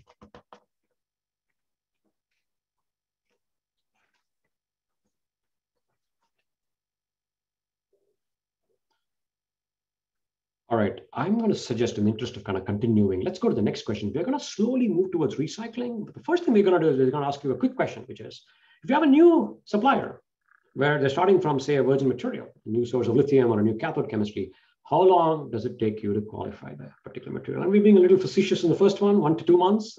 If that's the answer you're going to give us, then we want to talk to you because we want to know what your process is. But the other questions are meant to be a little bit more of the, you know, let's see, um, you know, what exactly is the how long it takes you guys to do that. And uh, as we go to the, uh, let's wait for a minute on this question, and then we're going to slowly walk into more of the recycling side of the, of the picture. So hence this question being an important one, because the just to prelude, the next question we're going to ask you is, how long is it going to take you if it's a recycling material? So keep that in mind as you answer this question. So here it looks like things seem to be somewhere between the six to 12 and one to two, with a few people saying, well, longer than I care to admit the 2% of the people saying it's one to two months, uh, you know, I don't know, um, that's an interesting comment there. But uh, as with most things, people tend to gravitate to the middle, uh, six to 12, one to two years. It's a long time, if it's two years, obviously, in some cases, uh, for us to do things. And again, keep in the back of your mind, if somebody now shows up saying, I have a recycled material, say I've got uh, a cobalt coming in from a recycled material, or even something a little bit higher than just the raw metal, uh, what does it mean for you if somebody says, I've got a recycled cathode that I was able to get out of a, of a full cell using, say, direct recycling or something like that? How long will it take you? So let's pause for a second here. And it looks like we are settling in the 6 to 12, 1 to 2, with a few people saying it's longer than they would care to admit. Um, so this is fantastic. Thank you. Let us now go to question nine, which is the exact same kind of question, except now you're going to worry about recycled material. So imagine you're going to be in the recycled side of the picture. How long would it take? And I see a few people. I don't know if you're being. Uh, uh, so I could see the one to two years sort of popping up as being a big number. Uh, last time you would remember we were seeing equal six to 12, one to two, with a few people saying it's longer than they would care to admit. It's fascinating that uh, the one to two seems to be increasing. So yeah, keep that going. Let's give it a, you know, a minute or so uh, so that we can start to get to that stage. We have 10 more minutes to go in this session and we have a few more questions we want to cover. So, uh, but I do want to wait for you guys to finish answering so that you all have a chance to sort of do this. Is, this is again, very important information for us as we go to the future. This is great. Uh, again, you know, it looks like there is a little bit longer, which is completely appropriate. Maybe the word little bit is not appropriate considering the fact that we're going from six months to two years in the case of uh, those two bars. Uh, but I, I, think it's appropriate in the sense that we are still struggling a bit with recycled materials, trying to understand what might be coming, what kind of impurities might be coming with it. Certainly a challenge even for virgin materials in some cases. But thank you. This is extremely helpful. Um, let us now go to question 10, where we're going to have an open-ended question now. And again, we'll be in recycling. And the question we're going to ask you is, again, Hemingway folks, what inhibits you from using recycling materials in your manufacturing line? For example, you might say it's batch-to-batch variations. That is really a problem that I'm facing. Or there could be something else. So again, uh, is an open-ended question. Availability, that's a, that's a great answer. The fact that we don't have enough of these recycled materials coming on board reduced properties. That's fascinating. I mean, I do wonder if that's, you know, that is a fundamental thing that we have to think about in the recycling world. I think, how do we get to the quality that, I mean, the properties that look like they're you know, sort of uh, you know, coming from virgin feed uh, variation. Yeah, that's one thing that we've heard multiple times as a big issue. Yeah, no history. That's that's a fantastic comment, right? Uh, it's a brand new recycling process. We don't quite know if that's going to work. And so, yeah, we are almost at the point where we need to be breaking. So let's finish this question quickly. And then we have one more question we'll quickly address as we go into the break, uh, which is an important one that I thought it's uh, we should address. So as we're waiting for this question to kind of fill out, I want to see if, uh, just to tee up Bethany, uh, we would like you to, uh, next thing I was thinking we should jump to question 12 and give it just a minute in question 12. So we'll, we'll hang on this question for 30 seconds and then we'll jump to question 12 after this. So let's wait for 30 seconds. This is fantastic information, folks. We really appreciate it. Um,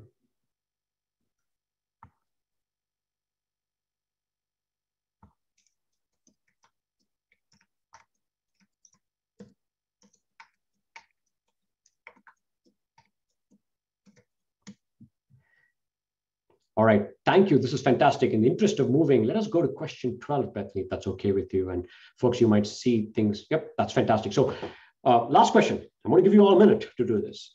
If there is one thing you would like to tell our government friends that they ought to be doing so that you as a US company can compete with all the dominant players that are out there, what would that be? Again, five words or less. What is that one thing that you think is extremely important? Um, you know, again, again, move fast is fantastic. That, that's great. Uh, you know, you've already heard the urgency in the, in the, in the two presentations from Michael and Dave. Uh, this is certainly an important topic subsidies, I guess is what you're thinking of. The streamline permitting, yeah, that's fantastic. Regulations, yep, relax mining regulations.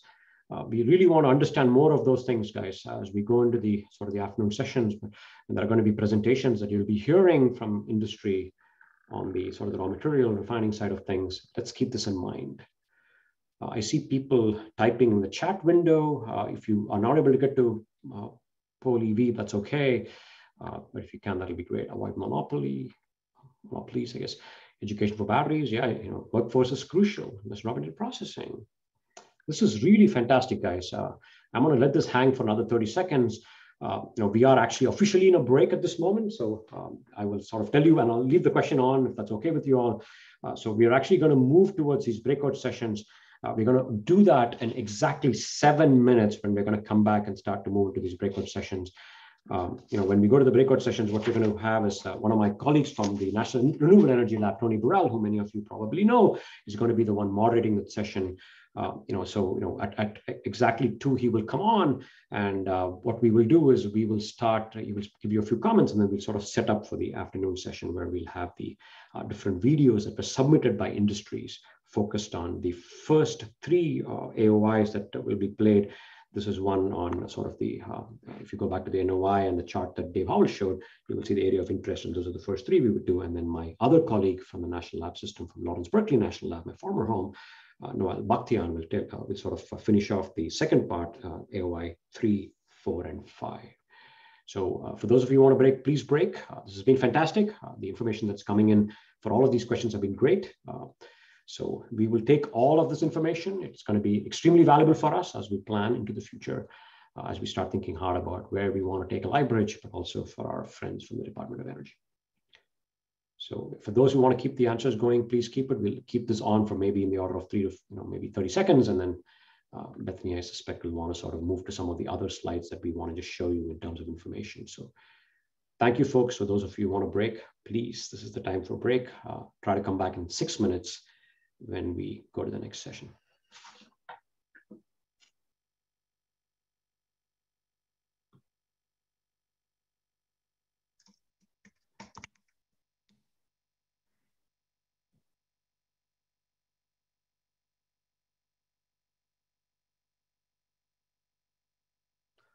Thank you, folks. Uh, again, uh, join us again in five minutes now at two o'clock, and we will get into the industry presentations. I'm seeing some comments. Uh, so looking at it now. This is great for those of you who qualified things. This is exactly what you should be doing. Um, we will take all those comments into consideration.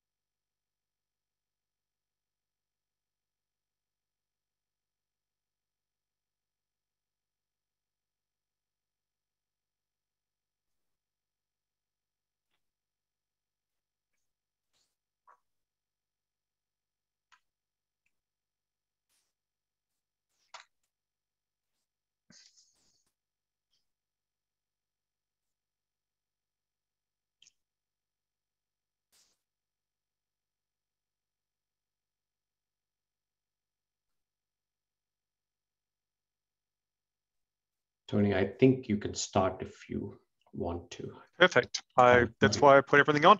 Um, welcome everybody, and um, hope everybody's having an exciting meeting. This is one of those, um, you know, key issues for me in, in the way we think about batteries. So I'm a researcher at the National Renewable Energy. My name is Tony Burrell, and um, obviously, as Venkat said, you know, this is the most exciting in time in batteries because we're no longer how do we get them into the marketplace. It's like how do we enable them in the marketplace. And I think that's a huge change in the way we think about things. Uh, it's my pleasure to talk about two, the first two AOIs. Um, the first one is on cathode production, the, the you know, positive electrode. This is focusing mostly on resources like cobalt, nickel, manganese, lithium, and other materials that, that activate that positive electrode in these systems. And they, this is the piece of, um, you know, the, the system that gets the most attention. And generally, uh, when I get asked questions like, what do I worry about in batteries? Where do I go? This is the thing that keeps me up at night. This piece we're talking about we, we know how to make batteries, we can do this. What if we don't have access to the materials that are going to enable us to do it?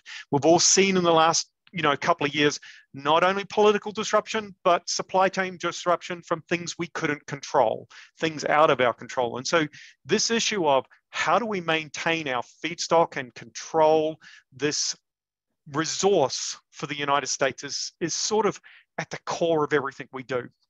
It's a little more complicated than that, of course, because as Venkat mentioned, we're not the world's resource for many materials. We have nickel, we don't have the resources that Australia, for example, or Canada does, but we do actually have access to nickel. So what are the best ways to extract that, to develop it and take it forward? But we have to do that sustainably. We can't just strip mine the areas that, are, that we have access to. We have to think about what the long-term um, approaches to that are and you know where we're going to do it. Obviously, mines tend to be in areas that are not heavily populated.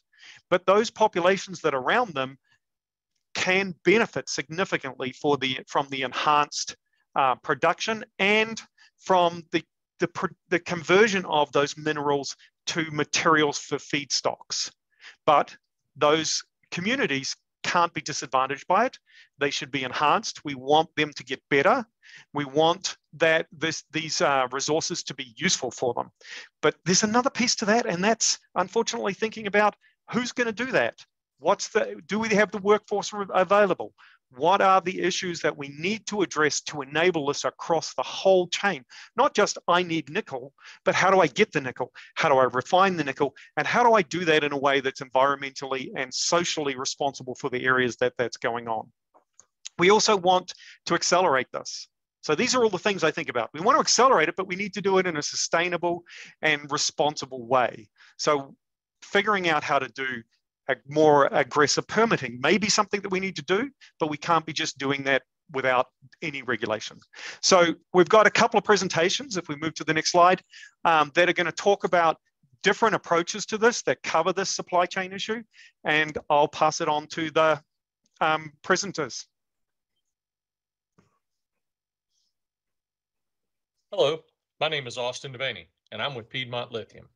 Piedmont Lithium is developing a one-of-a-kind integrated lithium business focused on supporting the development of an electric vehicle supply chain located wholly within North America. The centerpiece of our operations, our Carolina Lithium Project, is located in the historic Carolina tin-spodumene belt of North Carolina, just west of Charlotte, which is one of the largest and richest resources in the world. Our plans are to construct a fully integrated campus encompassing extraction, the production of spodumene concentrate, and the refining of that concentrate into 30,000 tons per year of battery grade lithium hydroxide, all on our 3,500 acre site. The unique geology, geography, and proximity of our resources, production operations, and customer base will allow us to deliver valuable continuity of supply of a high quality lithium hydroxide from spodumene concentrate which is preferred by most EV manufacturers. We also recognize that as the world gears up for the ever increasing popularity and promise of electric vehicles, the importance of the raw materials required to make this promise a reality increases as well. Piedmont has taken this opportunity to expand our footprint and partner with other resources to supply additional manufacturing capacity that would be located in the United States.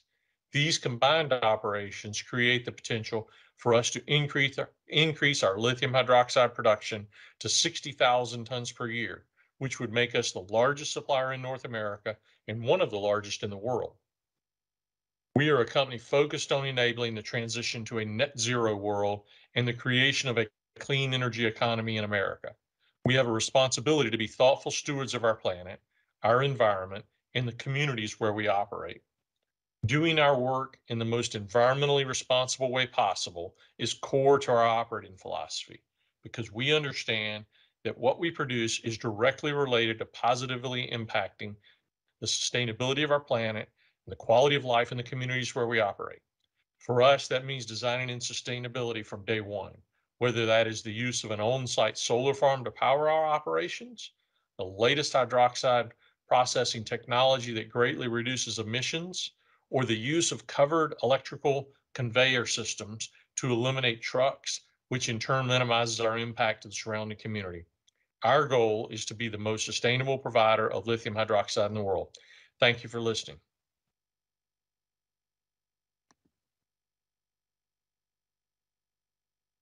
Good afternoon. I'm Kristen Hanksbeck, Director of Business Development for the Metals Company, and I'd like to thank LiBridge for the opportunity to provide our feedback. The Metals Company is an explorer of the world's largest reserve of battery metals, polymetallic nodules. Our value is driven both by secured exploration contracts for mineral assets as well as processing capability, addressing areas of interest one and five for this funding opportunity. Two of our three exploration contract areas are estimated to contain enough in situ nickel, cobalt, copper, and manganese to fully electrify the U.S. passenger fleet. Our first project, NORI-D, is ranked the largest undeveloped nickel project on the planet. At the start of the month, using a valuation model prepared by AMC, NORI-D alone had an NPV of $17 billion. The first stage of our pilot processing program conducted at facilities in Pennsylvania and Ontario has successfully converted 75 tons of nodules to a nickel copper cobalt intermediate. The refining phase to make our final products, nickel and cobalt sulfate, copper cathode, and manganese silicate is currently underway. The natural characteristics of nodules combined with our customized process flow sheet eliminates the generation of toxic waste and achieves near zero solid waste. We plan to site a U.S. plant in proximity to reliable renewable power and a skilled American workforce, as the facility is estimated to require almost 1,200 good paying clean energy jobs. Using this resource and our process, TMC can solve both the cathode raw material and production capacity challenges the U.S. faces today, and we can do this without the need to mine more U.S. land. Our operation can consolidate a 50,000 mile long supply chain controlled by China to a simple 1,500 miles. Our products can feed domestic cathode manufacturing, filling the gap for raw materials that may otherwise cause battery and EV plants to idle as they come online, along with the labor force that supports them. Moreover, we believe we can accomplish this at a fraction of the environmental and social costs that plague battery supply chains today. Drastic reductions in carbon emissions, water usage, waste generation, and without further deforestation or the use of child labor to mine critical metals. While R&D and pilot scale work are well funded by U.S. grant programs, critical development work to enable commercial operations is not well supported.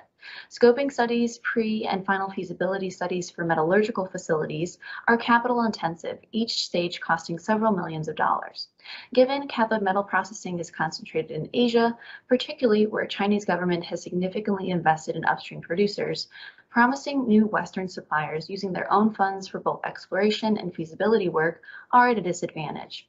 Thus, the infrastructure bill funding for areas one and five would be well put towards these development activities. I'd like to thank you for your time and consideration. Hi, everyone. This is Shane Thompson, the president of Retriev Technologies. Um, I wanted to talk a little bit about Retriev's um, experience in the field of battery recycling and to also talk about where we're going to go um, going forward.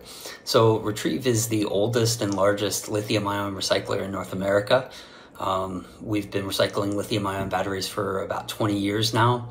And so we're very well positioned to leverage that experience to continue with the recycling of the lithium ion batteries. But what we would also like to do is kind of be the complete service offering for customers. And that includes um, two functions of the new business, um, and that is uh, the ability through our facility in Brea, California, to warehouse, store, and test new batteries for the OEMs. Um, this is very helpful in supporting any kind of recall or, or warranty work. Um, and we have experience in doing that. Once the batteries come back, we've got a, uh, a testing uh, process that we're expanding to determine which batteries, you know, and do this in a rapid way, but determine which batteries are good for um, a potential second life application and which batteries have to go for material recovery or recycling. Um, and then from that point, um, those batteries that do go for recycling, we've mapped out uh, an extensive pathway to take what's currently produced, which is called black mass, which is the portions of the battery, the, the, the nickel, cobalt, and copper. So the good side to that is that those elements are being recycled and put back into um, the economy. The downside is is they're not making their way back to the battery supply chain. We plan on addressing that by getting them back into the supply chain by extracting more of the materials, including the lithium and the anode, through uh, a hydrometallurgical process that um, we'll be implementing this year. Um, and then from there, we've got a joint development agreement with 6K Energy to make new cathode. So ultimately, we'll be supplying um, cathode back to the battery supply chain for domestic production of batteries here in North America. And as I mentioned, we are committed to Second Life. Um, we see the batteries as having significantly more value when you use them as an energy storage device. So batteries that are coming out of automotive applications still have good energy storage potential. So we're excited uh, to be uh, the complete service provider for companies looking to recycle or reuse their batteries going forward. Thank you.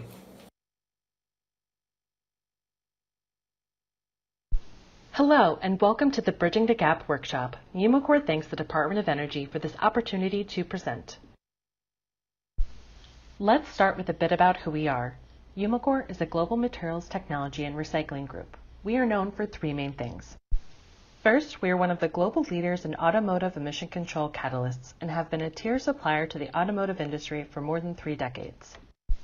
Second, we are a leading global supplier of rechargeable battery materials for electric vehicles and portable electronics. And third, Umicore is the world's leading recycler of complex waste streams. We recycle the end-of-life catalysts and battery materials we make, as well as other complex materials. Umicore is a global leader in producing cathode active materials, a key component influencing the performance and cost of lithium-ion batteries. We started in this market over 20 years ago and now have eight production sites worldwide.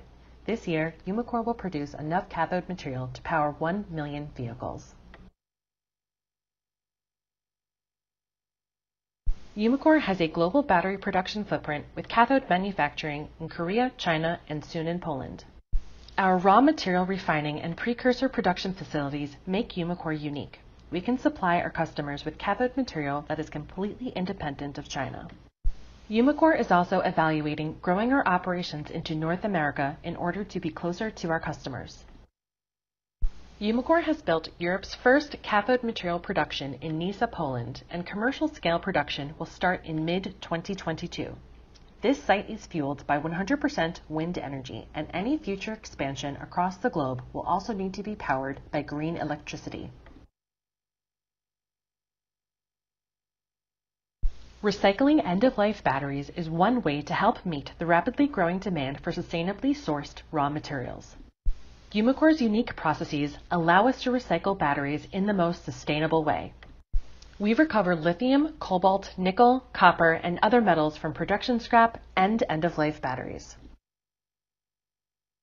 Umicore is active throughout the battery materials supply chain, and we ensure strict sustainability and ethical sourcing requirements for all our materials.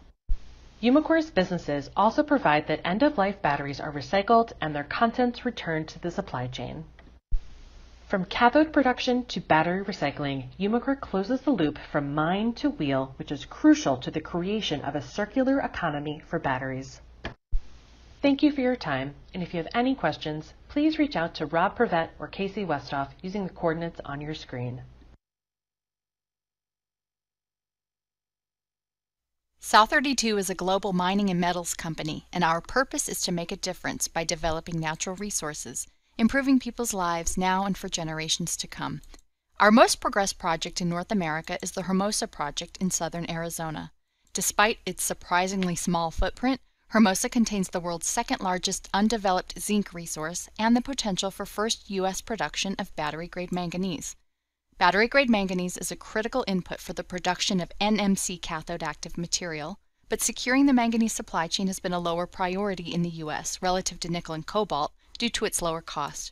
Now, automobile OEMs are increasingly planning high manganese containing chemistries into their future cathode mix, but global battery grade manganese production is geographically concentrated. Zero is mined or processed in the U.S. today. Accessible from our privately owned land, the Clark deposit, one of two deposits at Hermosa, measures at about 55 million metric tons, averaging more than 9% manganese and more than 2% zinc. We've already confirmed a technically viable flow sheet to produce a battery grade manganese product, so let's talk sustainable development. Our approach focuses on five interconnected pillars that are material to our business and stakeholders, and which support the United Nations Sustainable Development Goals. Hermosa is being designed as a new standard for mining projects and our first carbon neutral mining operation to be fully powered by renewable energy and using electric fleets. Hermosa is located in one of the most economically undiversified counties in Arizona, one hungry for better paying skilled jobs like those created by mining. It has anomalous pockets of wealth in the small towns most proximal to Hermosa, but in the broader county, which is about 83% Latino, nearly 25% live below the poverty line. Hermosa would significantly boost the tax base, help close the racial wealth gap, and create generational lift. Local hiring is a priority for us, and we're laying groundwork with the region's secondary and post secondary institutions for workforce development through training and education. Hermosa doesn't closely neighbor any tribes and isn't yet in the federal permitting process, but we're proactively engaging with 14 tribes in Arizona, New Mexico, and Oklahoma, and have voluntarily conducted cultural resource surveys across our private lands and all our mining claims in the accompaniment of tribal monitors. We're committed to continuing respectful, proactive engagements with tribes that may have a historic affiliation to the land around our project. Partnering with all of our local communities is a high priority, so we've established a donor advised community fund that provides grants to local nonprofits with a focus on priorities identified by the community. We also have a third party facilitated community advisory panel that advises on aspects of our project that have the potential to impact the community. South32's Hermosa project is one of the most advanced battery grade manganese projects in the United States, and our preferred development pathway will be selected later this year. I'm Bob Bachrach, co-founder and senior vice president of eJoule Incorporated. eJoule is a California company with world headquarters in R&D center in Fremont, California. The pilot facility with 200 metric ton capability is in Hsinchu, Taiwan, and the first uh, 1,500 metric ton production plant is in China. Today, I am submitting comment for Area 1 advocating investment in co-locating lithium-ion battery and unyielded cathode active material recycling with U.S. plants for high-volume lithium-ion cathode active material production as part of the proposed FOA 2678 in support of the bipartisan infrastructure law, materials processing, and battery manufacturing funding. eJoule has developed disruptive, scalable synthesis process flow for high-volume manufacturing of lithium-ion cathode active material. The eJoule process flow goes directly from solution of all the chemical components. The eJoule process is particularly suited to incorporating dopants directly into the solution, which are essential to achieving high energy, low to no cobalt compositions. eJoule process flow is based on proprietary equipment and chemistry developed in the United States, which produces high performance, price competitive cathode active material. The high throughput unit equipment module is compact, energy and water efficient, and configured for zero emission. Because eJoule process flow goes directly from solution to powder, an eJoule plant can directly use the component solution from a co-located recycling plant. An example is the BASF Schwarzheide CAM plant site, which includes recycling. BASF ships PCAM from its plant in Finland, 1,200 miles to Schwarzheide. Uh, and the plant is also set up to recycle unyielded cathode powder as well as recycled lithium ion batteries. The BASF has posted YouTube videos of the construction progress.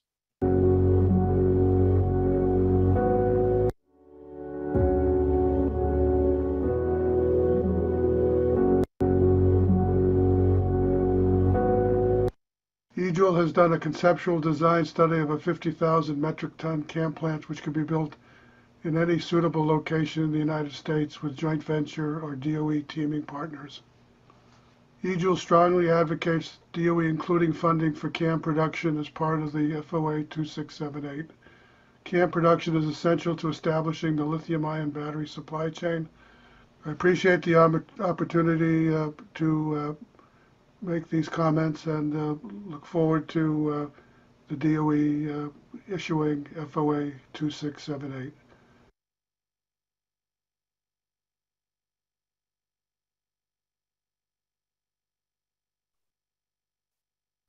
Oh, I can't. Oh, so, um, so quick technical note for everybody in this um, who's listening, the Q&A is broken for some reason. Welcome to um, you know online technology. Nothing works perfectly all the time. So we're asking that people switch to the chat and it's open to everybody. Please make sure when you are in the chat that you use the um, you know send to everybody option rather than to individuals.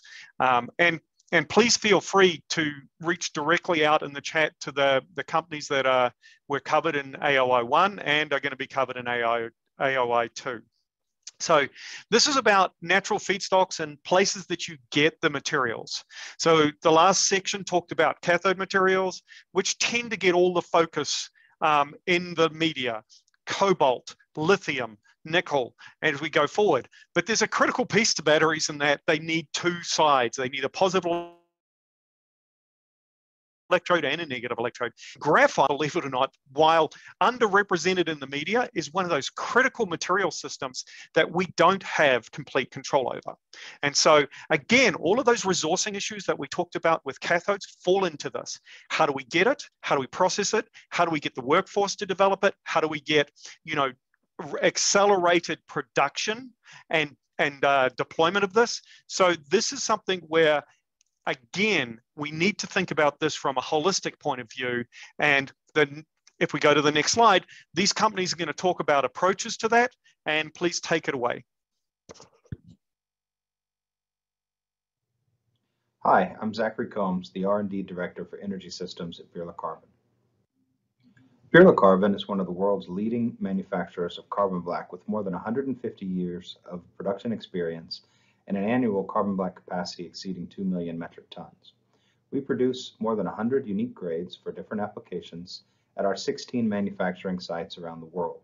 That includes two manufacturing sites in the US, as well as our global technology and business headquarters, which is located outside of Atlanta, Georgia. Birla Carbon has recently made a net zero by 2050 announcement, which is a first for the carbon black industry. In the energy storage market, we have an emerging material strategy which is focused on developing a full carbon portfolio, including both natural and synthetic graphite, as well as our existing carbon black conductive additives. We can support this industry with our existing global sales and tech service footprint, as well as synergistic product integration and feedstock security provided by our sister Aditya Birla Group companies. Birla Carbon's full carbon portfolio provides unique solutions for both conductive additives as well as anode active materials. Conductex I-14 is the flagship carbon black conductive additive product designed specifically for the lithium ion market and has shown improved performance including higher solids loading as well as high rate and high voltage performance. The second product line is a carbon black carbon nanotube hybrid system which provides the dispersion characteristics of a carbon black with the high conductivity and low loading characteristics of a carbon nanotube. And lastly, and probably most importantly for growth into the energy storage market, is our development of synthetic and natural graphites as anode active materials using a new to the world process. To support LiBridge, Birla Carbon has identified some key U.S. market growth challenges. These include access to capital and equipment, particularly for the value-added graphite processing steps. Um, this also includes raw material manufacturing knowledge, uh, having realistic scale-up plans for production, and including a skilled workforce to support this production. And in the US, this all must be done with an environmentally sustainable process that may include something very different than what's used today uh, to manufacture graphite around the world. Birla Carbon offers some distinct advantages for these challenges, including existing energy positive manufacturing assets in the US that could provide potential co-location and rapid scale up for graphite manufacturing. We've also developed a new to the world graphite manufacturing process, which is targeted to lower CO2 emissions and high yield. We can also leverage existing certifications and a long history of supply to the automotive industry for accelerated approvals. Thank you for your time, and please reach out if you have any questions regarding Birla Carbon's energy systems product portfolio and growth strategy. I'm Chad Potter, President and CEO of Westwater Resources. I'm here at our site just outside of Kellyton in Coosa County, Alabama. We're building our first of its kind graphite processing plant that will produce refined battery grade graphite for electric vehicles and many other commonly used products. Our graphite refining plant will use a proprietary and thoroughly tested process that we developed that is both environmentally responsible and sustainable. None of the raw materials we use will come from China, and beginning of 2028, we intend to source our raw graphite to feed our refining plant just miles away from here in the deposit-rich Alabama graphite belt. With our plant and future mining operations, we'll be investing more than 700 million in central Alabama, creating over 100 good-paying jobs and providing a boost to this rural area's economy. Most of the world's graphite comes from China. Westwater plans to be a major U.S. supplier of battery-grade graphite products. During 2021, we completed our pilot processing program and a definitive feasibility study acquired a site for constructing our commercial grade graphite processing facility, and purchased two buildings for the use of administrative offices, laboratories, training, and warehousing space. With the acquisition in 2018 of mineral rights for more than 40,000 acres in the Alabama Graphite Belt, Westwater is uniquely positioned with a U.S. based graphite resource. Previous exploration work indicates natural flake graphite in quantities that likely exceed 1.9 million tons. That's an estimated 30 year supply Development and permitting of the Coosa deposit is planned over the next few years, with mining anticipated to start in 2028. In the meantime, a source of natural flake graphite concentrate, other than from China, has been secured. Without the use of hydrofluoric acid, our unique purification process is not only environmentally sustainable, it's also safe for workers and produces an extremely pure product that has the potential to increase the performance of all battery types. We took great care in locating an ideal site for the construction and operation of a commercial scale facility to produce our graphite products. We're appreciative of the support we have received in Alabama, from the governor and her administrative and legislative leaders to local county and city officials. And we're proud to bring jobs and hundreds of millions of dollars in investment to this racially diverse area. Our core values call for continuous improvement in safety, cost management, and integrity. As you can see, our Coosa Graphite Project easily meets the intent and requirements for investment by the DOE under the Bipartisan Infrastructure Law. Upon completion, our project will be the only fully integrated graphite production facility in the U.S. We're providing a homegrown source for graphite. We're investing in American manufacturing and American workers. And we're doing it all right here in the United States of America.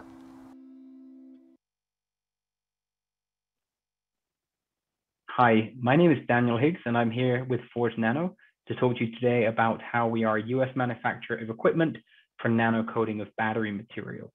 My colleague will be talking separately about how we are also a US battery cell producer. Our investors include LG Chem, Air Liquide, VW, Sumitomo Corporation of Americas, and Mitsui Kinzoku. So let's dive straight in. We have a technology that can replace pitch coating Pitch coating is currently used to make graphite anodes stable enough to withstand the harsh environments of a lithium ion battery. However, pitch coating is expensive, it's dirty, and it's not environmentally friendly. We have developed a high throughput, one step continuous process using high purity chemical sources to produce a lower cost, higher performance, and lower environmentally impactful technology. Our technology is currently at TRL 9 um, for our generation 1, and generation 2 is shortly behind that at TRL 7. This technology has been invested in by and validated by the US Department of Energy through their various subgroups listed on this slide. So our plan for US manufacturing of anode graphite powder includes partnering with various graphite production facilities. Um, with them, we are investing over half a billion dollars into graphite mining, graphite refining, uh, graphite purification, and coating as well. We provide the coating equipment, which can process 4,000 metric tons of graphite anode powder per year, and that equipment is made in Colorado. We have a very high throughput nano coating technology, and that technology lowers the cost and the environmental impact of the graphite production while improving the battery performance. We are requesting that the US government um, speeds up permits for natural graphite mines, uh, coordinates with the Canadian government to enable easy flow of natural graphite powder from Canada to the USA for processing, and also to continue to support green technologies.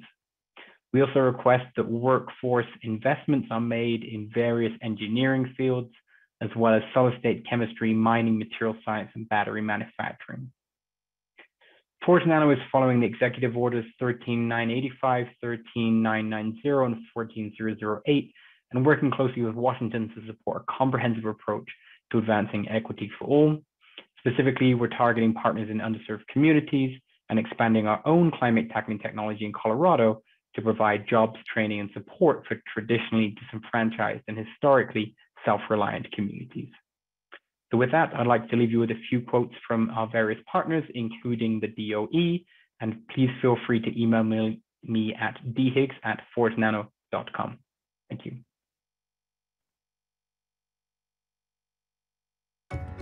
ACPT was founded with the objective of producing high-value, low-cost, strategic materials using low-value fuel oil as feedstock. Through the use of its patented process, ACPT stands to reduce our nation's dependency on China for our strategic materials by converting this carbon-rich feedstock into the base material for graphite, carbon fiber, carbon-carbon, and other materials that are critical to our national security. The resulting materials sequester the carbon that would otherwise be burned and released into the atmosphere, making this an environmentally friendly way to produce these materials in America. We are a R&D focused company that owns a patented process that takes a low-cost petroleum product and converts it into mesophase pitch.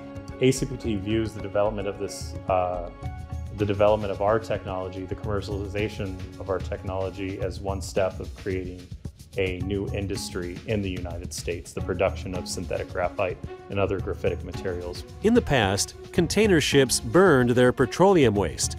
With new guidelines in place, they are no longer able to do this. Refineries are left to look for alternatives to meet their disposal needs. The ACP Technologies process provides a solution by utilizing petroleum byproducts to create mesophase pitch. The ACPT process not only enables the nation to produce the strategic materials it needs, but does so in an economically and environmentally friendly way. Our patented process will lower production costs and it is a sustainable, green process that will also eliminate the need for foreign production allowing us to produce and manufacture products and components in the United States. This will enable domestic production sources for several national priorities, like the electric vehicle market, hypersonic flight for the DoD, lightweight vehicles and equipment, as well as reduced signatures of DoD equipment. So with the DoD's focus on electrification and in general industry focus on electrification for vehicles, um, there is a real supply chain problem where most of the critical materials that go into a battery, the rare earth metals and the graphite, are sourced from foreign countries. And we are a potential source, uh, a domestic source for a critical material, the graphite that goes into the batteries. Currently, ACPT operates a pilot facility in Hitchins, Kentucky. Uh, our pilot plant uh, has successfully ran its uh, process for 90 hours at a time And we are seeking to expand that pilot capability by leveraging our partnerships with uh, the federal agencies that we work with and our industry partners um, to create our first commercial sized plant.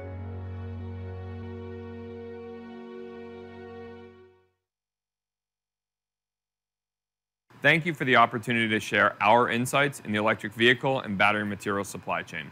I'm Chris Burns, the CEO and co-founder of Novonix, an advanced battery material and technology company with operations in Chattanooga, Tennessee and Halifax, Nova Scotia.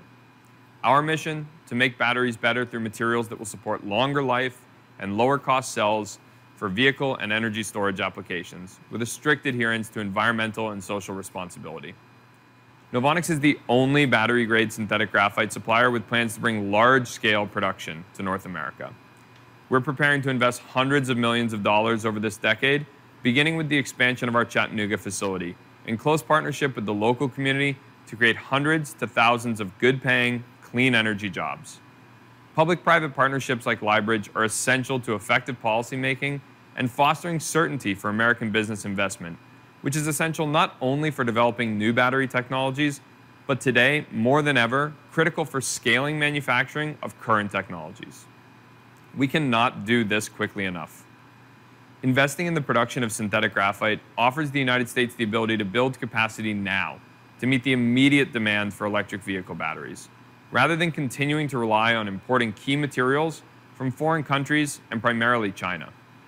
In the United States, we can produce synthetic graphite using clean sources of power and domestic sources of high-grade precursor to create an end-to-end American supply chain for this key battery material, which is the best proven anode technology to deliver high energy density and long life batteries. Public support for the synthetic graphite industry, such as low-cost debt or loan guarantees, will help drive scale and manufacturing efficiency, which is critical to achieving cost competitiveness with the existing Chinese supply chain. For context, Novonix recently raised capital to support 10,000 tons of synthetic graphite production coming online in 2023. Our competitors in China have companies adding tens or hundreds of thousands of tons of capacity per year with significant state support. Of course, domestic support for EV adoption and manufacturing in the United States must remain a top priority. And we applaud the Biden administration's commitment to EV expansion and the foundation laid by the bipartisan infrastructure law.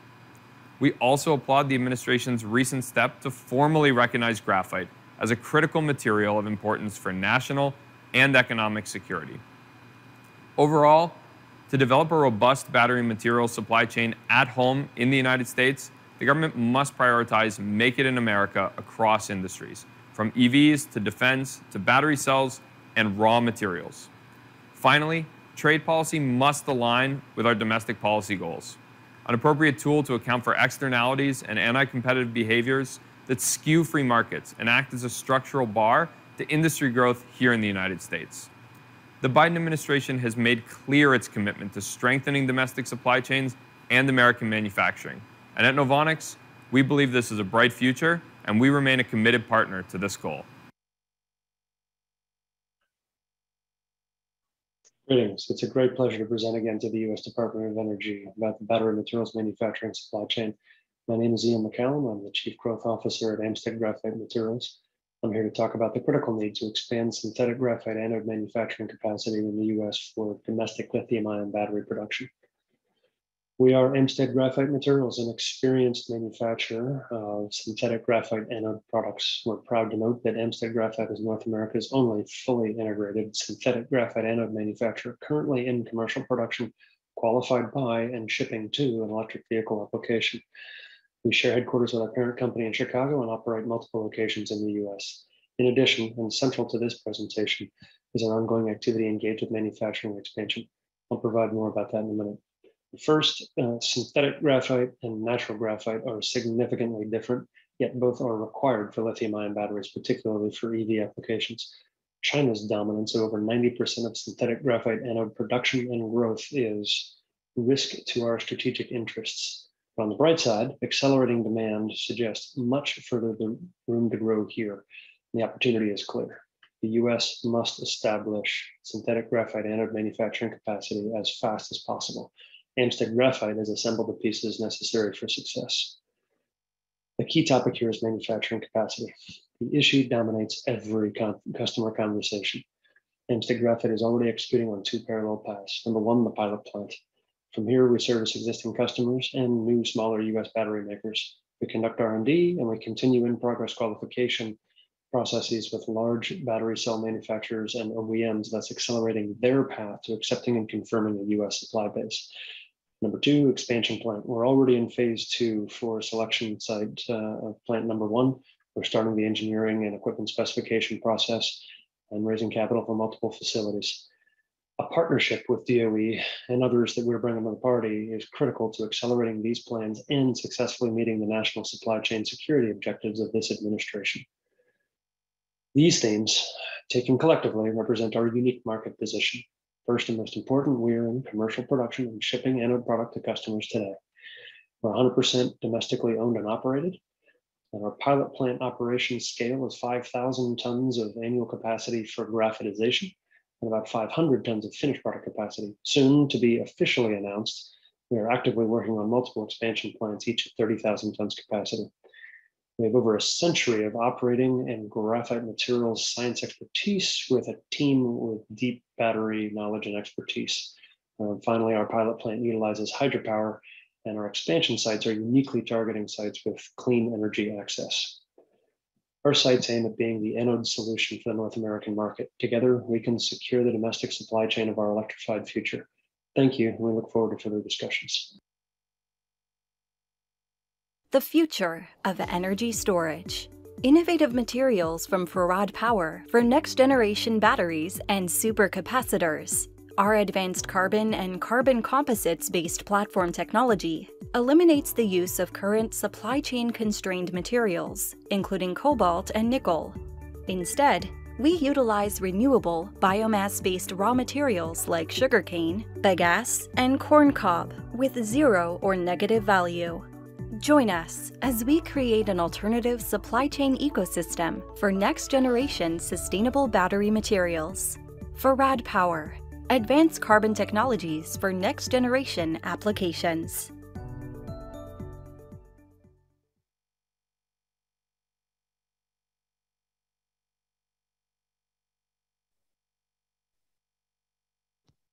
So I just want to um, thank the presenters um, for the last two AOIs. I would also point out that both the presenters for those and all of you have an opportunity to point out to DOE what you see the barriers are and what you'll see limiting progress in this, these areas.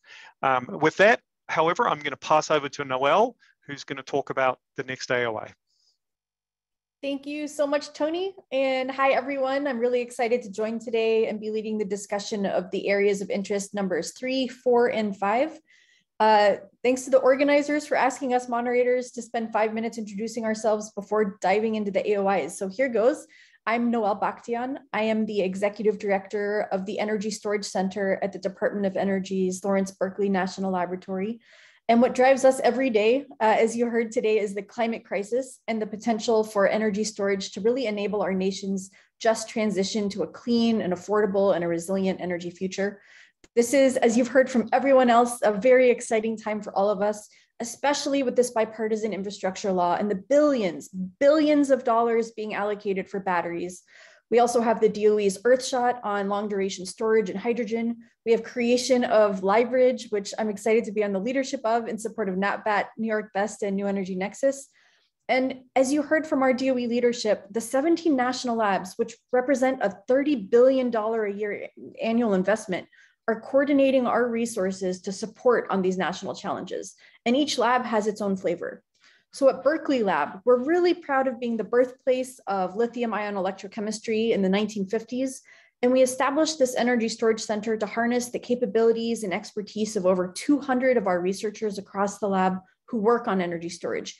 Everything from our lithium center, LiRIC, to our brilliant researchers inventing new battery chemistries like DRX, to our five national user facilities available to you as industry. They're, they're publicly accessible, billion dollar resources uh, all the way to our folks pushing the boundaries on the science of manufacturing batteries using artificial intelligence and machine learning, all the way up the value chain to our markets and policy teams providing tech assistance to utilities and public utility commissions. So one of the center's primary focus areas is on building out the US domestic battery supply chain ecosystem, very aligned with everything that you've heard today. And in fact, we convened a 2,000 person national summit just last week to catalyze new partnerships and new solutions in this space with a focus on doing a double click on the national blueprint for lithium batteries that you heard about earlier uh, from, from Dave and others that came out of FCAB. And that really helps us cross the boundaries between research, between policy and regulation, industry, but also communities so that we can build bridges to fuel our US battery revolution from resource to recharge. I do want to call out, like others have, this, these cross-cutting themes of workforce and equity that are so important, an important part of any conversation on energy storage and the solution space. Uh, and in fact, we've actually launched a community of practice at the intersection of energy storage and equity. Uh, so keep an ear out for those themes today and going forward as well. Please be thinking about submitting questions and answers in the chat with those themes in mind as well. And just to close out my quick intro and to quote Secretary of Energy Jennifer Granholm, this is an all hands on deck moment and Berkeley Lab the other labs are all geared up to support at this epic moment in history. So with that, let's transition to area of interest three, other commercial scale domestic battery materials extraction and processing. So this is everything but the sta standard cathode transition metals, which you heard about from Tony and AOI1, and everything other than the graphite anodes that we just heard about from Tony and AOI2. So we're talking about everything else. For example, lithium metal, liquid electrolytes, solid electrolytes, such as rare earth metals like lanthanum, and non-graphitic anodes, which include silicon and intermetallic anodes like germanium, tin, antimony. But the centerpiece here is still lithium. A major thread from the summit last week was that only 2% of the global lithium market comes from the US right now, but we have the opportunity to extract a significant amount of lithium domestically. And given the lithium demand curve that we're all seeing, we need a lot more of it and faster. So this is really an acute challenge. Moreover, we have to think about this. Nationally, we haven't really used our domestic lithium resources for commercial production in a big way. So we need to learn how to do that efficiently, sustainably, cost competitively, and working with our local communities. And like I said, an all hands on deck challenge, including the cats and dogs amongst us, uh, and the national labs are standing by to support. In fact, DOE just announced a significant investment via Berkeley Lab to study the lithium resource in Lithium Valley, Imperial Valley in Southern California. And this is in partnership with Berkshire Hathaway in UC Riverside, two of our many partners in Lithium Valley. So let's flip to the next slide. Here are the companies that we're going to be hearing from on this area of interest in no particular order. And don't forget, the industry leaders you're seeing in the videos are in attendance and looking to answer your questions. So please use the chat function to ask your questions or answer questions. Uh, and, and like you've heard, this is all going to be posted online, including the Q&A. So let's get started on the AOI3 videos.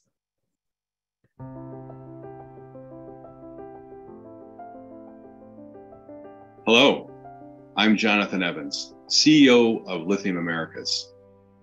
At Lithium Americas, we're optimistic about President Biden's ambitious plan to secure our country's supply chain for electrification, and we share his sense of urgency. I'd like to start by addressing the challenges you set out in your invitation.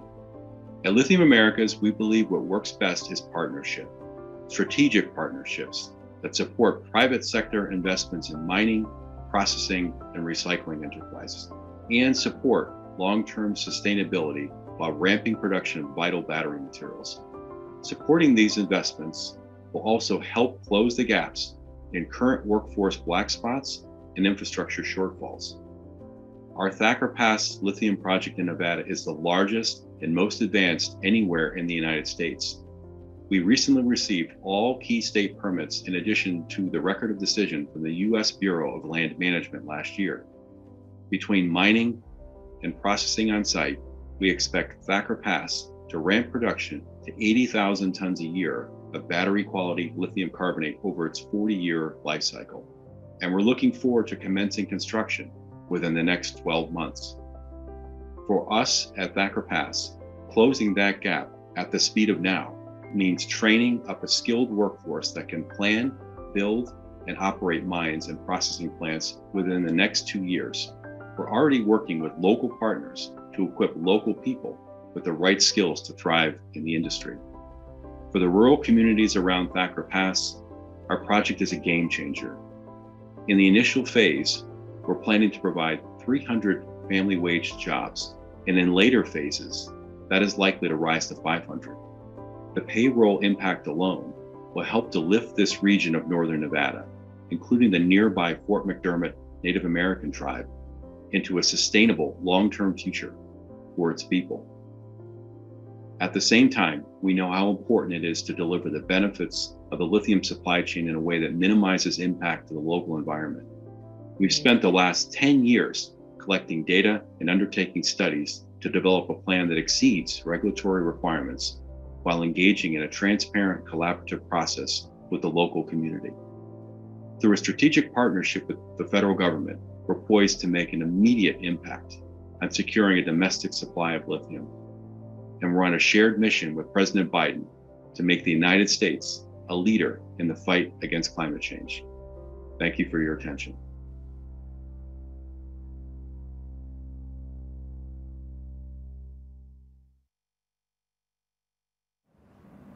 As the electric vehicle battery market grows and the ecosystem evolves, there's an increased demand for high volumes of industrial gases. Industrial gases include nitrogen, oxygen, argon, helium, and other specialty gases. Starting upstream with mining and refining of raw materials like nickel, cobalt, lithium, all the way to battery recycling, industrial gases are required at every step of the value chain. Zooming in specifically on the cathode manufacture, the industrial gas requirement, depending on the scale of the cathode production unit, could range from on site storage, less than 100 tons per day of oxygen, to on site oxygen production plants of 200 to 500 tons per day of oxygen. If the US is expected to see a battery demand growth of around 150 gigawatt hour by 2025, this will require a significant scale up of industrial gas capacity requirements. While such large scale gas supply is based on mature air separation technology and such large scale production bases exist currently in the US Gulf Coast, such scale of industrial gas volume is not readily available in locations where the battery ecosystem is evolving.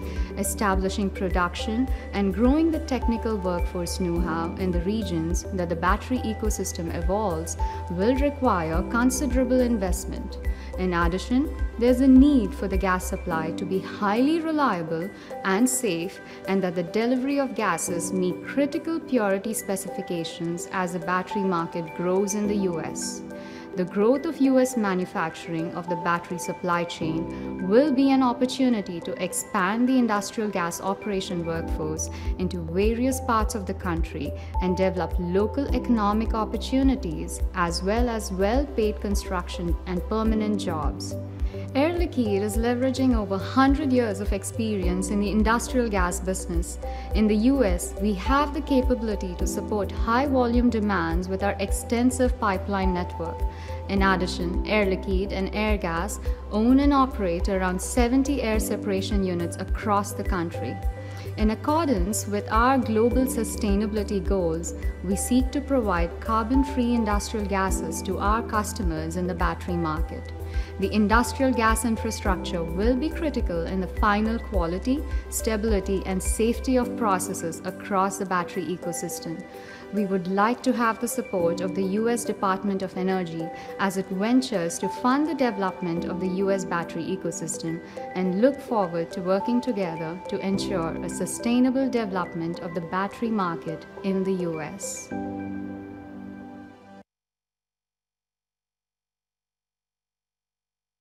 Okay, well, that was area of interest three. And now moving on to area of interest four, demonstration projects for domestic separation and production of battery grade materials from unconventional domestic sources. So here we're still talking about how to source materials, but this one is zeroing in on unconventional domestic sources. So when we're going after specific materials or elements in the earth, there's major consideration given to the cost and the challenge of sustainability and you're at the mercy of the density of the resource and the location. The magic of unconventional domestic sources is that whether naturally or through human effort, some of the battery materials that we're seeking can be harvested in new and innovative ways. For instance, at Berkeley Lab, we're working with industry in the Lithium Valley on extracting lithium from geothermal brines. The geothermal power plants in Imperial Valley already bring the lithium rich water up to the surface. So the opportunity is to extract the lithium from these brines that already exist at the surface. So you're going to hear uh, today from a company, for example, that has been producing boron, boric acid for years and is a, and a byproduct of this process is lithium. It was a waste product and has already been dug up. So you're going to hear about the valorization of this existing waste stream for the benefit of our domestic battery ecosystem. Similarly, unconventional sources for battery materials can include coal ash and mining drainage ponds and what really excites me about this whole topic is that we're taking advantage of unconventional sources. And this is essentially moving us closer to a circular economy.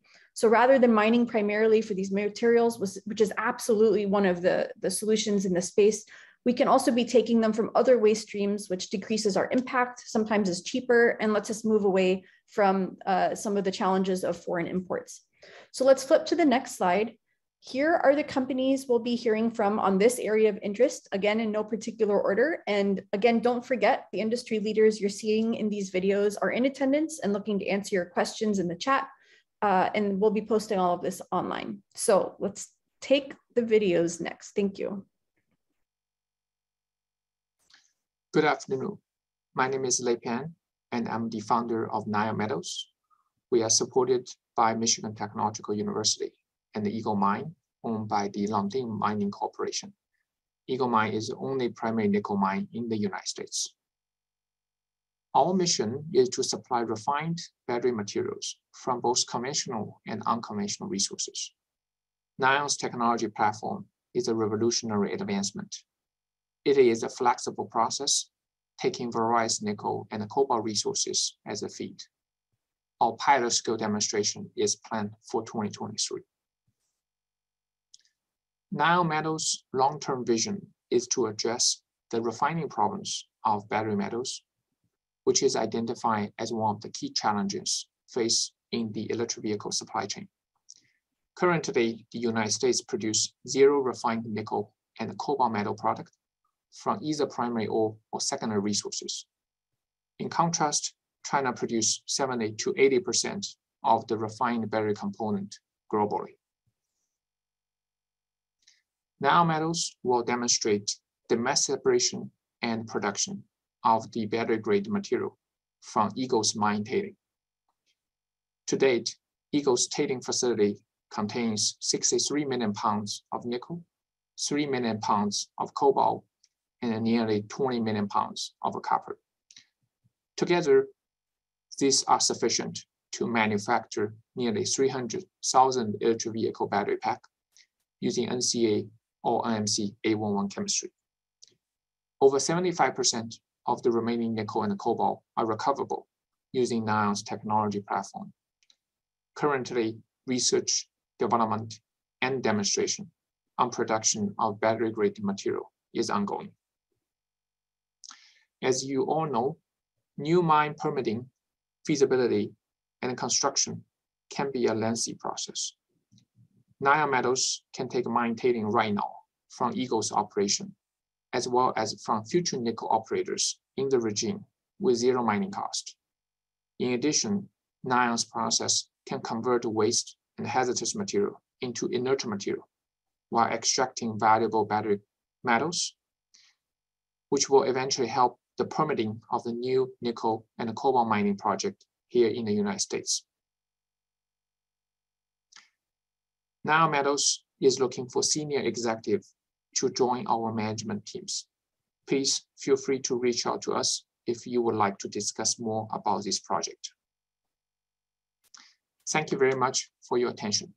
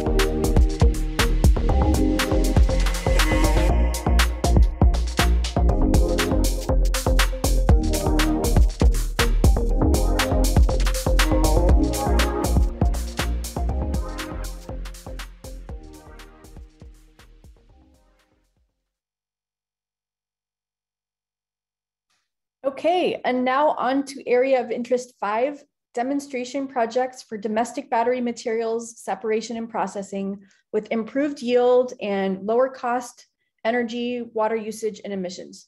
So this AOI is all about efficiency, about thinking about our environmental footprint, about considering the life cycle analysis and techno-economic analyses. This is all an incredibly important piece of the puzzle and something we have a whole team of folks working on it at our lab across the other labs due to its importance.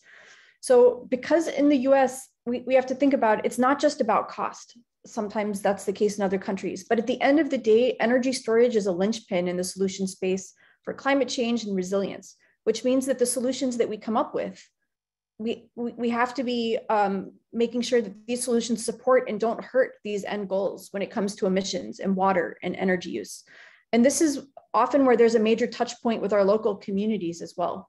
So let me give a parallel example. Through the Department of Energy's National Alliance for Water Innovation, or NAWI, which is hosted at Berkeley Lab, we're pushing hard on topics like precision separation, removing specific ions from feed waters using membrane-based technologies or thermal technologies.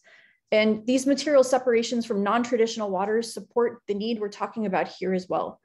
Um, also on a very innovative side, the mining sector itself is moving towards electrification in some cases. There's at least one company that we know about that's pushing for all electric mining such that they can be powered by renewables. I just saw a question in the chat about this, so I'm glad people are thinking about it.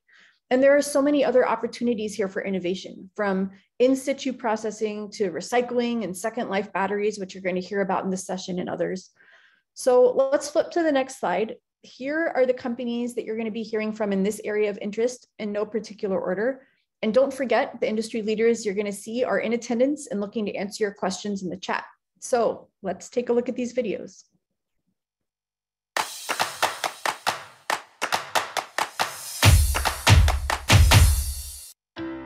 While there are large amounts of electric vehicle manufacturing factories going up in the US, very many uh, cell manufacturing plants currently being constructed, there still is really not the quantity of primary battery metal manufacturing facilities being constructed. Those vehicle plants and those cell plants are relying almost entirely on foreign sourced battery metals to make their products. This means that there really isn't a closed loop within the North American market yet. This open loop really leaves domestic companies vulnerable with regards to the security of their supply chain to the cost of having to source and pay import tariffs on all of those materials. And it really doesn't give them the necessary visibility on the environmental impact of what really happened in the sourcing of those metals. American Battery Metals is both primary mining company, where we're working to extract lithium and other battery metals, and we've also developed an in-house full recycling train for the recycling of lithium-ion batteries. It really allows us to both add new primary material to the supply loop and also to take end of life and waste material, recycle it, and turn it right back around in that same loop. So currently there are many companies out there who have laboratory scale efforts for recycling lithium ion batteries for the manufacturing of battery metals, but doing work at laboratory scale only goes so far. What the industry is really looking for is someone who can actually make these materials at commercial scale, so for a recycling facility, we have to consider both the large amount of material already in the market with older technologies, plus brand new technologies being made today, plus any changes being made in the future to make each of our recycling facilities future-proof and a wide breadth of type of feedstock that they can take in.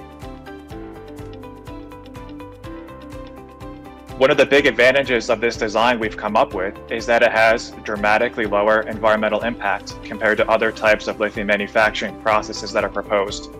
We have far lower consumption of acids and other chemical loadings, far lower generation of waste materials.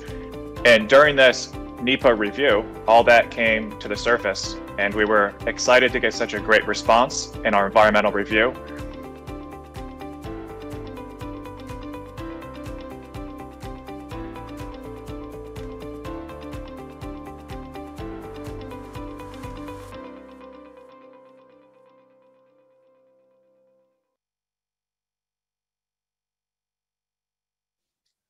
Pure Lithium is commercializing a breakthrough lithium metal battery technology and manufacturing process that is clean, sustainable, scalable, and cost effective.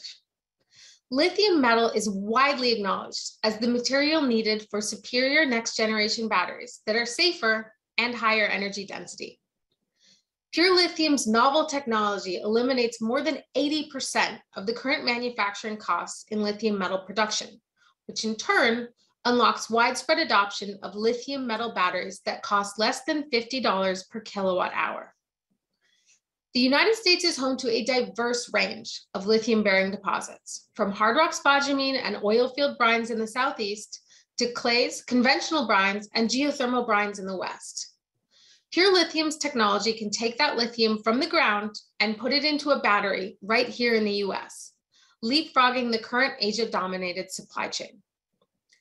Pure Lithium's metal electrodes are elementally pure. Our one-step electrodeposition process creates a clean native interface that's protected from air and moisture, which improves performance and reduces costs. As a woman-owned business, Pure Lithium has embedded working for environmental justice and treating communities as stakeholders into the very fiber of our company we are uniquely capable of training technicians with high school or technical backgrounds to hold valuable jobs in the battery industry. Pure Lithium's process can be deployed either close to lithium production or in manufacturing hubs. We are an integral part of securing the energy supply chain, and that depends on building the lithium batteries of the future here in the United States.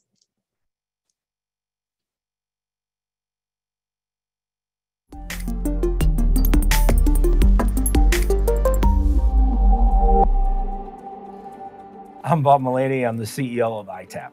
The key to the battery industry is extending its life as long as you can and putting them in second life applications to live out their life cycle. This is Marshall Neipert, Chief Technology Officer of IT Asset Partners. After investing $12 million into R&D, we have successfully built second life solutions for all lithium batteries in the United States.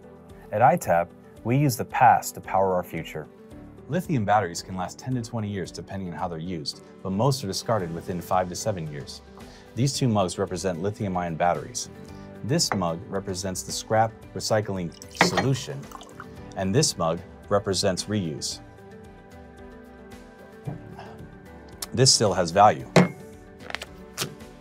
Now let's look at the scrap recycling solution.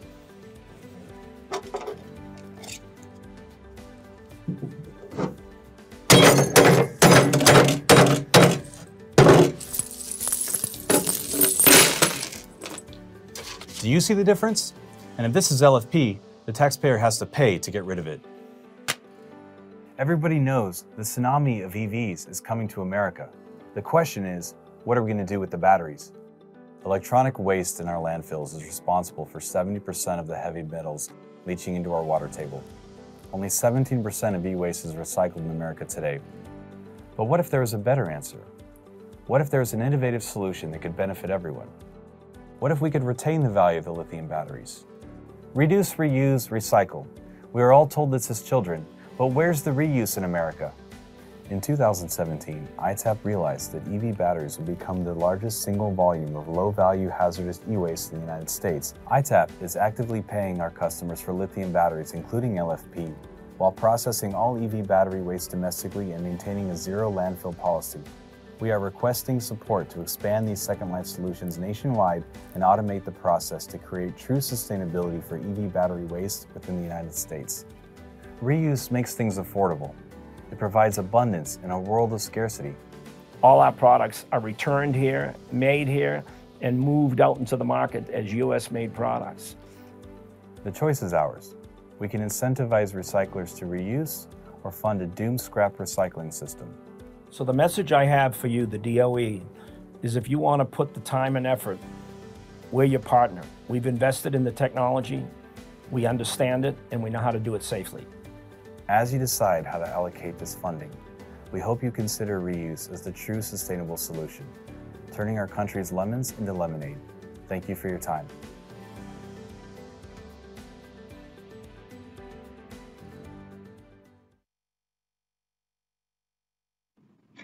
Hello, this is Chris Abram from HIT Nano. We're a small business based in New Jersey, and we want to share with you our battery cathode manufacturing technologies with a view to developing fruitful partnerships to scale up these technologies in the United States. So we began in Princeton University in 2017, and our mission is to develop environmentally friendly manufacturing solutions for high performance energy storage materials for electric vehicles. So we've three relevant patents on the technologies I'll be talking about. Uh, we receive funding from the Department of Energy and actively collaborate with academic and industry partners in the materials, batteries and electric vehicles area. So we are providing solutions for the next generation of cathode manufacturing. So the co-precipitation route is the prevailing cathode production technology and is dominated by countries such as China, Korea and Japan at present. So in this process, metals are processed into metal salts, which is itself an energy intensive process. Sulfate salts are then fed into the co-precipitation reactor, which requires additional chemicals and generates wastewater, which requires energy intensive processing for recovery. So in other words, this is a time consuming, capital intensive and environmentally damaging process that needs to be updated. We have two technologies uh, which are completely different. First, we're working on an aerosol synthesis process. It forms a lithiated active cathode material uh, with low energy and no additional chemicals in a, uh, a rapid process step. Second, we're working on a direct metal oxidation to cathode process. This process completely eliminates the conversion of metals to metal salts, which further reduces the time, the environmental impact, and the cost of the cathode material significantly. Turning to the first of these technologies, the aerosol method is very flexible for designing novel materials with precise ion doping. So as shown, we can achieve selective ion precipitation, which forms a concentration gradient structure. This improves the thermal stability and the electrochemical performance of the material. Moreover, this method has a very broad uh, compositional flexibility, is fast, and it requires no additional chemicals. In the second method we're working on, direct metal oxidation to cathode. From a manufacturing standpoint, this method is truly single step. It completely eliminates two major steps in co-precipitation by working directly with metals, and it's fully compatible with existing plants, so it makes scale up very straightforward. So we can use this method to produce gradient structure, high performance cobalt free and nickel rich materials. In summary, these are two technologies which have the potential to transform conventional cathode manufacturing and we are looking for partnerships to commercialize these technologies and establish environmentally cathode manufacturing here in the United States. Thank you.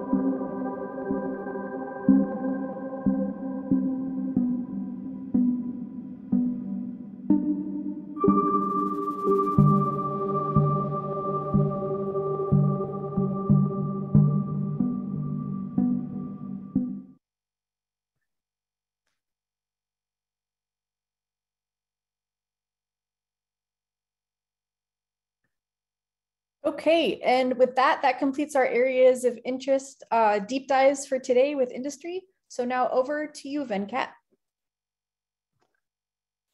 Thank you so much, Noel. I deeply appreciate the time both you and Tony took to sort of look at these different things. And I'm just noticing that the chat window is ablaze with a lot of different comments and questions and people talking about various things. So please keep that going. That really is fantastic. Uh, you know, there were a couple of questions that people responded to in terms of permitting and also in terms of local engagement of their community. Uh, we want to hear from you. The next session after the break is going to be focused on those aspects. And as you heard from both uh, uh Michael and from Dave, that is going to be an important part of uh, what we need to think about as we look at the next uh, five to 10 years of this growth that we expect to see in the energy storage market.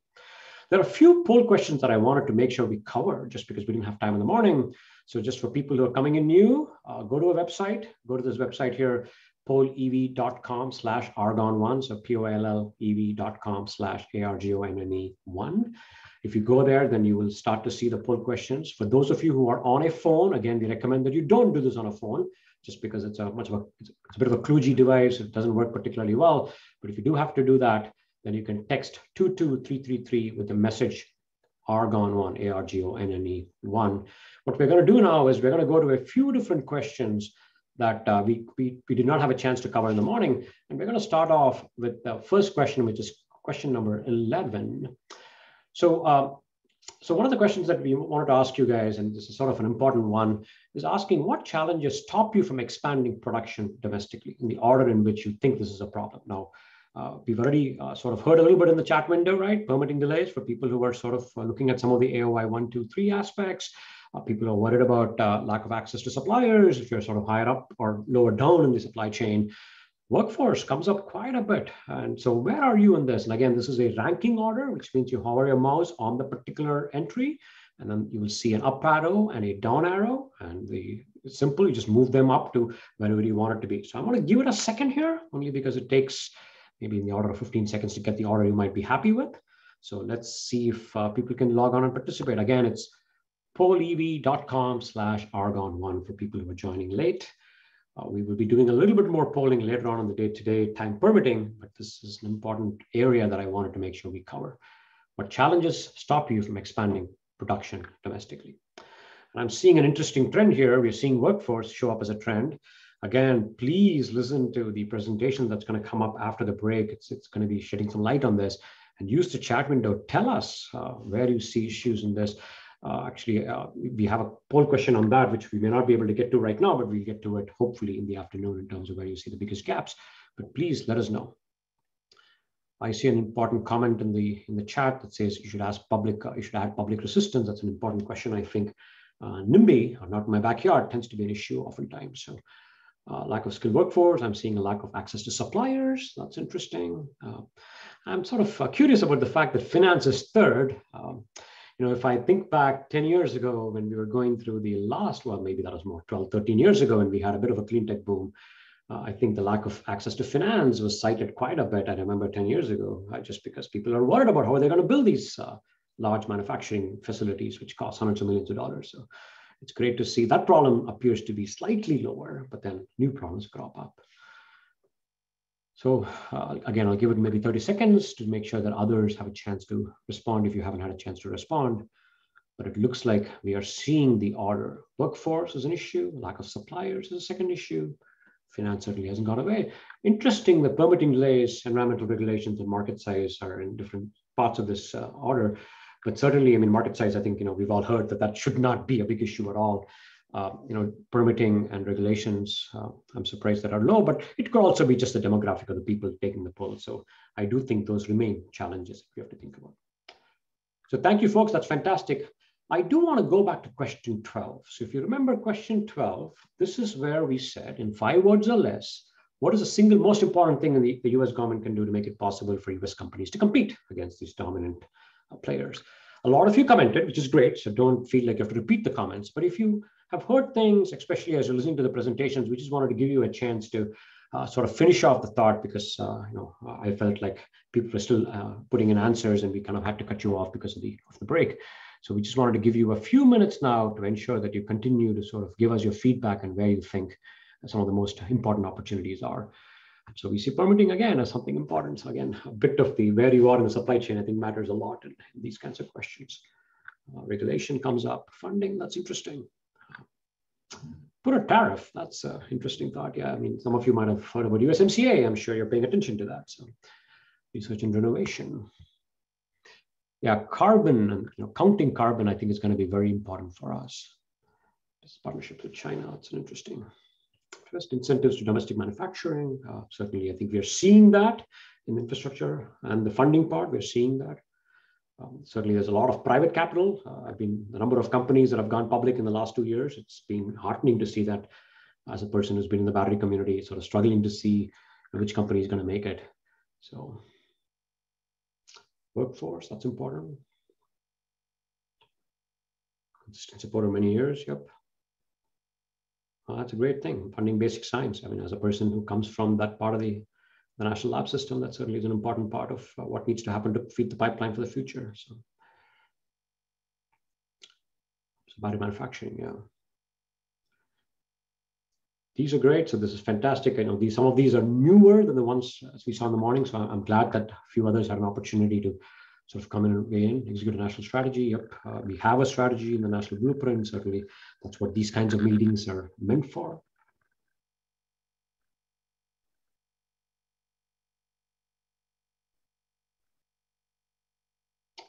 Yeah, so consortium of companies like Mantech, and certainly this is part of what LiBridge is trying to accomplish, sort of bring people uh, together and have a conversation about what needs to get done. Uh, SEMATECH is an example that we all hear about as, uh, as a way to do this.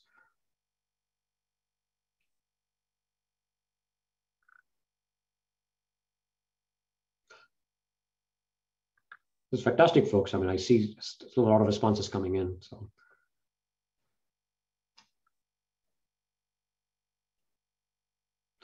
I see adjusting tariffs. Uh, you know, I know there are people in the audience from different parts of the federal government, so I'm sure they're paying attention to these kinds of questions because that's exactly the kind of thing that they're hoping to hear from all of you.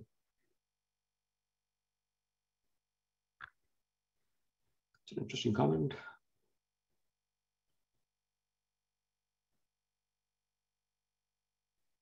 From materials manufacturing only, avoid monopolies. We saw this, I think, common in the morning too. Yeah, collaboration across supply chain, this probably is very important, right? How do you team up? And we've seen a little bit of that in the, in the private industry, people kind of partnering with battery companies, OEMs, battery companies, and uh, cathode producers all coming together. So that's great.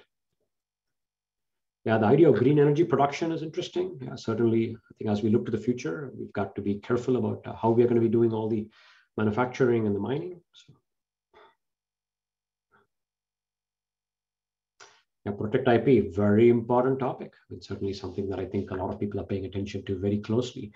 Uh, you know, this certainly is a topic that we all pay attention to in the national lab system because it's you know bread and butter for us in terms of how we think about innovation. So, in addition to paper, so I think we're coming to a logical end. As my, one of my friends would say, D and DT appears to be coming to zero. Therefore, I think we should move to the next question, which is question 13. So two more two questions kind of you know, on sort of looking at uh, sort of 2030 and asking questions that are beyond the sort of the, some of the chat questions on the lithium ion space. So here we're asking 2030, imagine you're predicting the future again, what percent of US manufacturing capacity will focus on LFP cells? Just to note that today it's kind of trivial. And the beauty of online polling where we don't know who's responding is that you can be completely wrong in your prediction. It's okay, nobody will know.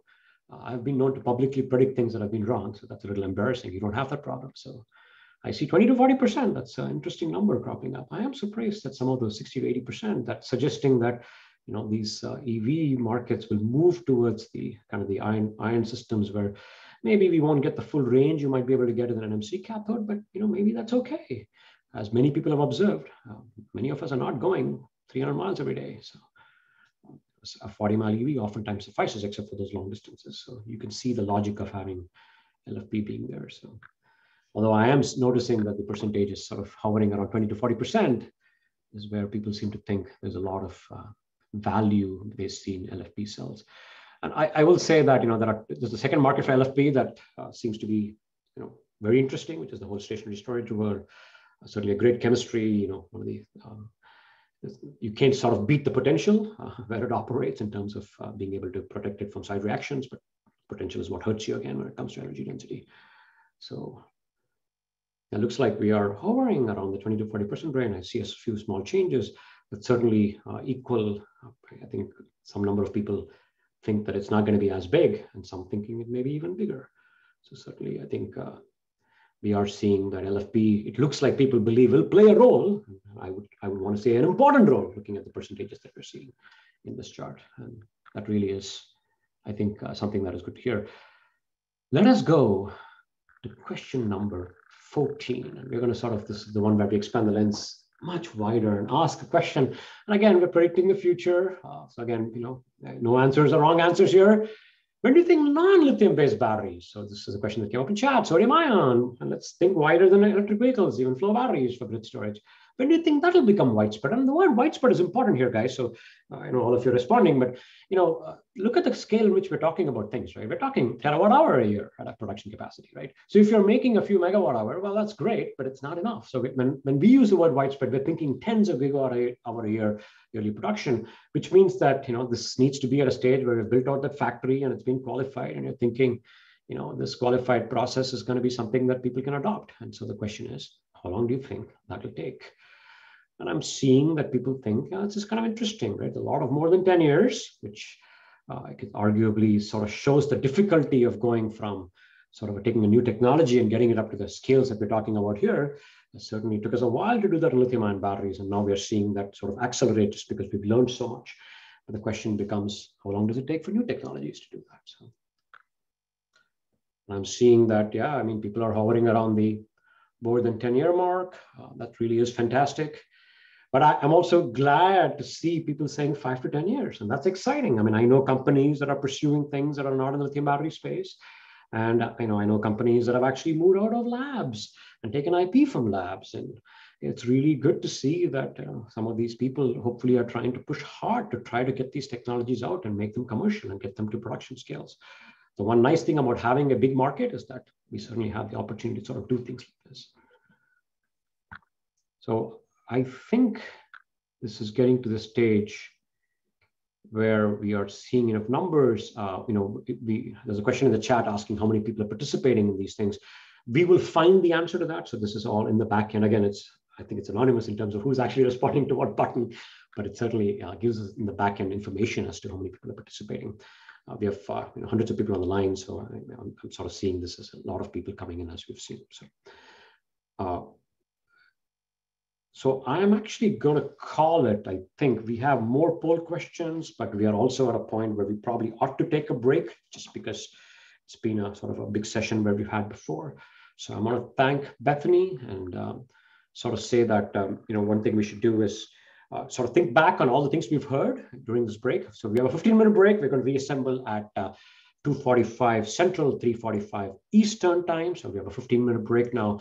But when we come back, we're going to talk about three very important aspects, right? Workforce, workforce, that's extremely important. We've heard this from many of you. So we're going to hear a little bit about uh, DOE leadership on this topic. And we're going to hear a little bit about um, the whole concept of environmental justice and equity. And how do you think about this as we develop this industry? And the third thing that we want to touch on is permitting. So, you know, use the chat window, think about things that you think are important for you in those three aspects and let us know.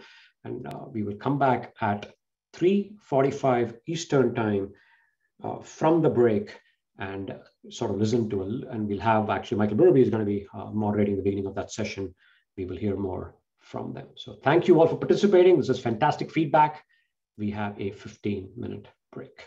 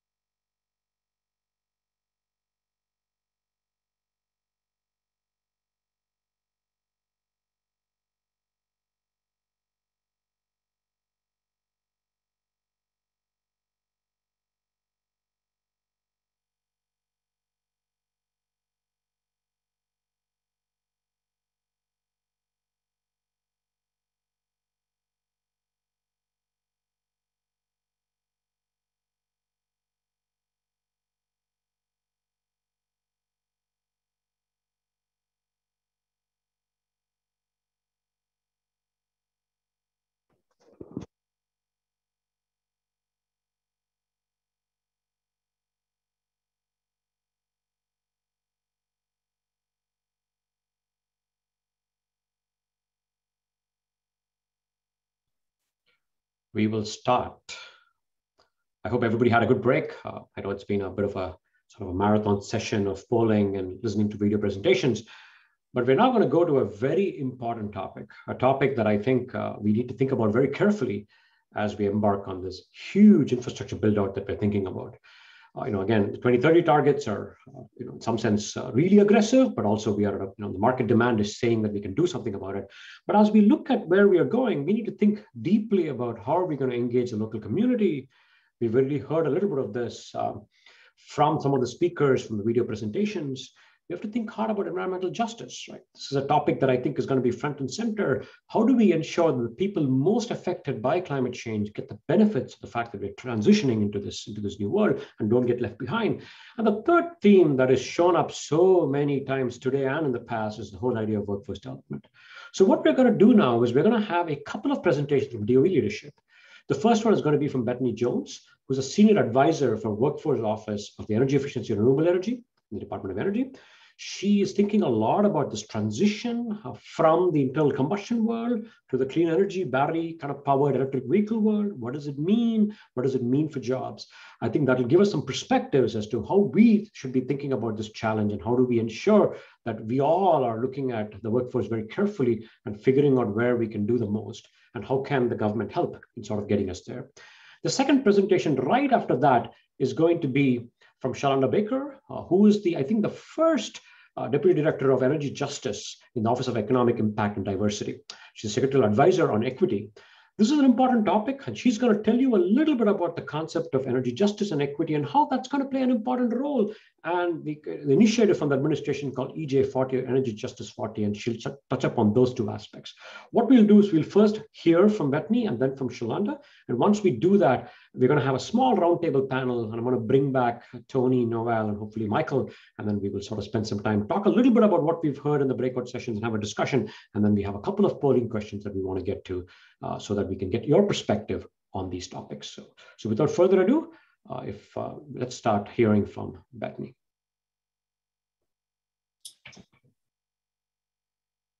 Hi, I'm Betony Jones. I'm a senior advisor for jobs and workforce in the Office of Energy Efficiency and Renewable Energy. I'm going to spend a few minutes talking about our workforce development efforts and the EV transition. So first, we know that there are some challenges. The auto industry which will be affected by this transition, is a key employer. We know that EVs require about 10% less production labor than internal combustion engine vehicles, so that poses a challenge in terms of job loss. Uh, we also know that the battery sector jobs are primarily non-union and pay less than ICE jobs, and so there's a problem with job quality. Policy support can minimize worker dislocation, job loss, wage loss, and the decline of unions, but it's going to take some intention. Policy really needs to look at how to increase domestic content, develop the US supply chain, ensure continued innovation and competitiveness, improve job quality in order to attract and retain the qualified workers that we're going to need, mitigate local economic shock, shocks and spur uh, consumer demand. So there are some opportunities, but there are also some real challenges.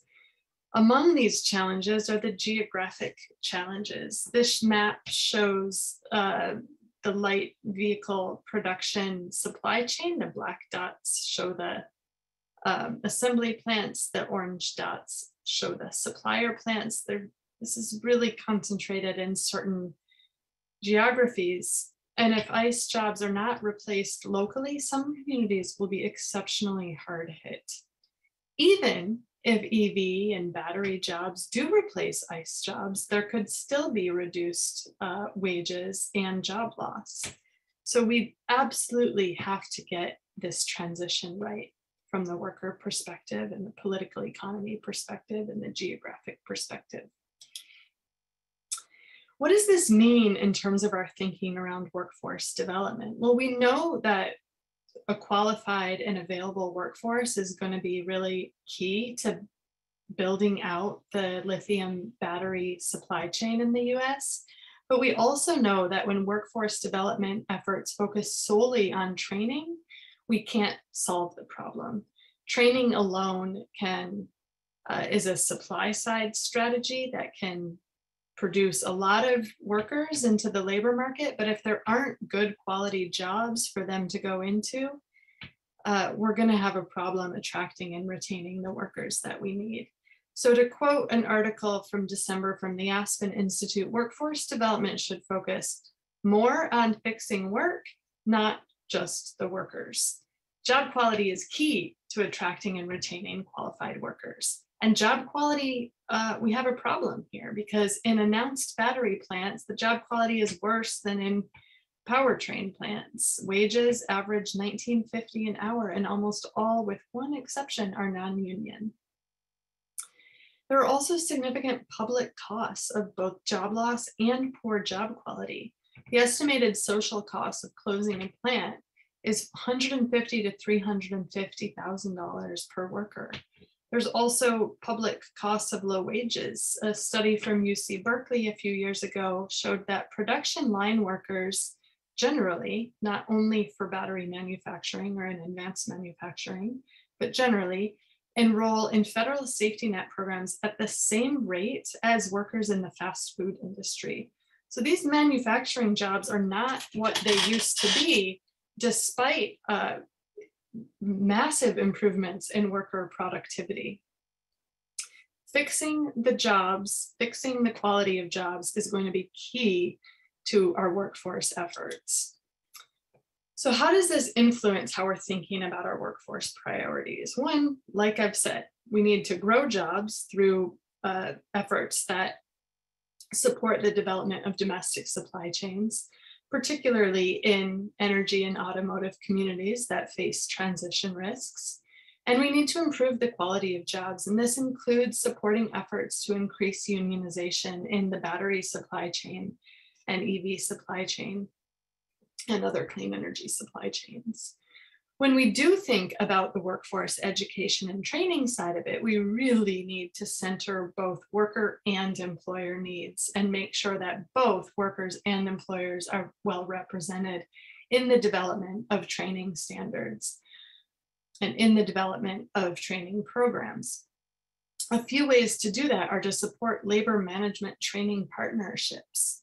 These can focus on both worker and workplace health and safety, on the training that can support workers advance in their careers, not just get that first job, uh, and that look for other opportunities to advance the firm competitiveness through workforce development, something that both the employers and the workers would benefit from. Uh, we're also looking at how to how to coordinate with the Department of Labor and expand registered apprenticeships in manufacturing. Apprenticeships, registered apprenticeships are earn as you learn models of training that result in national industry recognized credentials. These work really well in the construction sector. And there's a lot of other industries that registered apprenticeship would be a good model for. Sometimes in, in construction, we see this a lot. These registered apprenticeships are jointly funded by both labor unions and employers because both sides benefit from that investment in training. That's what we need to see more of in the manufacturing space. Additionally, the last thing that's going to work is to have dozens or scores of different training programs across the country leading to different certifications or different credentials. Workers don't know what to make of that employers don't know what to make of that. And that is not the path to support improved job quality or targeted investments in the communities that need them. So one of the things that we think is really important is to engage industry leaders and labor in the development of national training standards that lead to industry recognized credentials. So workers know where to invest uh, in their skill development and education that is going to lead to a job and upward mobility within that job and, and, within that career. And that employers will also know what does a what does the particular credential signal in terms of worker competencies. So that standardization is really really essential.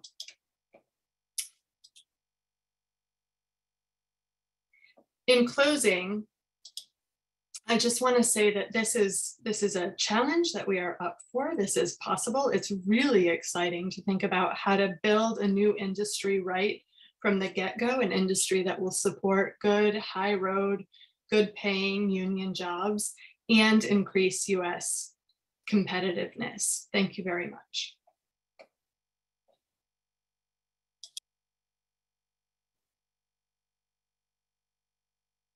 Good afternoon. I'm Shalanda Baker, and I'm so proud to serve as the nation's first ever Deputy Director for Energy Justice in the Office of Economic Impact and Diversity. I want to thank Argonne Lab for hosting this two-day convening where we are all focused on bridging the gaps to advance our nation's battery manufacturing, recycling, and supply chain. Argonne and DOE's other 16 national laboratories lead the nation in advancing the frontiers of scientific knowledge and innovation, keeping our nation secure, and fueling our clean energy economy. And the simple truth is diversity, equity, inclusion, and accessibility are essential to achieving these goals. The innovation at the heart of the laboratory's success benefits from diverse talent and inclusive perspectives. We can and should work together to make sure we are maximizing diversity in talent and inclusivity in perspective. It's my office's mandate to ensure that people of color are afforded opportunities to participate fully in our nation's energy programs. And as part of that, we must all think create, creatively and critically about how the battery manufacturing and recycling industry can be more inclusive as we expand and electrify our transportation infrastructure and as we transform ourselves into a clean energy economy. And so, in alignment with these goals, we're working hard daily to expand the participation of minority owned businesses in DOE programs and to increase access to new opportunities. So, we see the bipartisan infrastructure law or the bill as an important vehicle to do this. The bill is a long overdue investment in our nation's infrastructure, workers, families, and competitiveness. The battery provisions we are discussing today represent over 6 billion, that's billion with a B, dollars to advance the science and innovation required to meet the demand and to drive our nation forward. It's our belief that the bill provisions are incredibly important in not only addressing our infrastructure needs, but also advancing equity. These provisions will be the vehicle to provide jobs, jobs in BIPOC and low income communities who have unfortunately disproportionately borne the environmental burdens of the energy system while reaping so very few of its economic benefits. And we also see opportunities for grants for minority owned businesses and nonprofits. We encourage the creation and prioritization of business models that are people and community centered.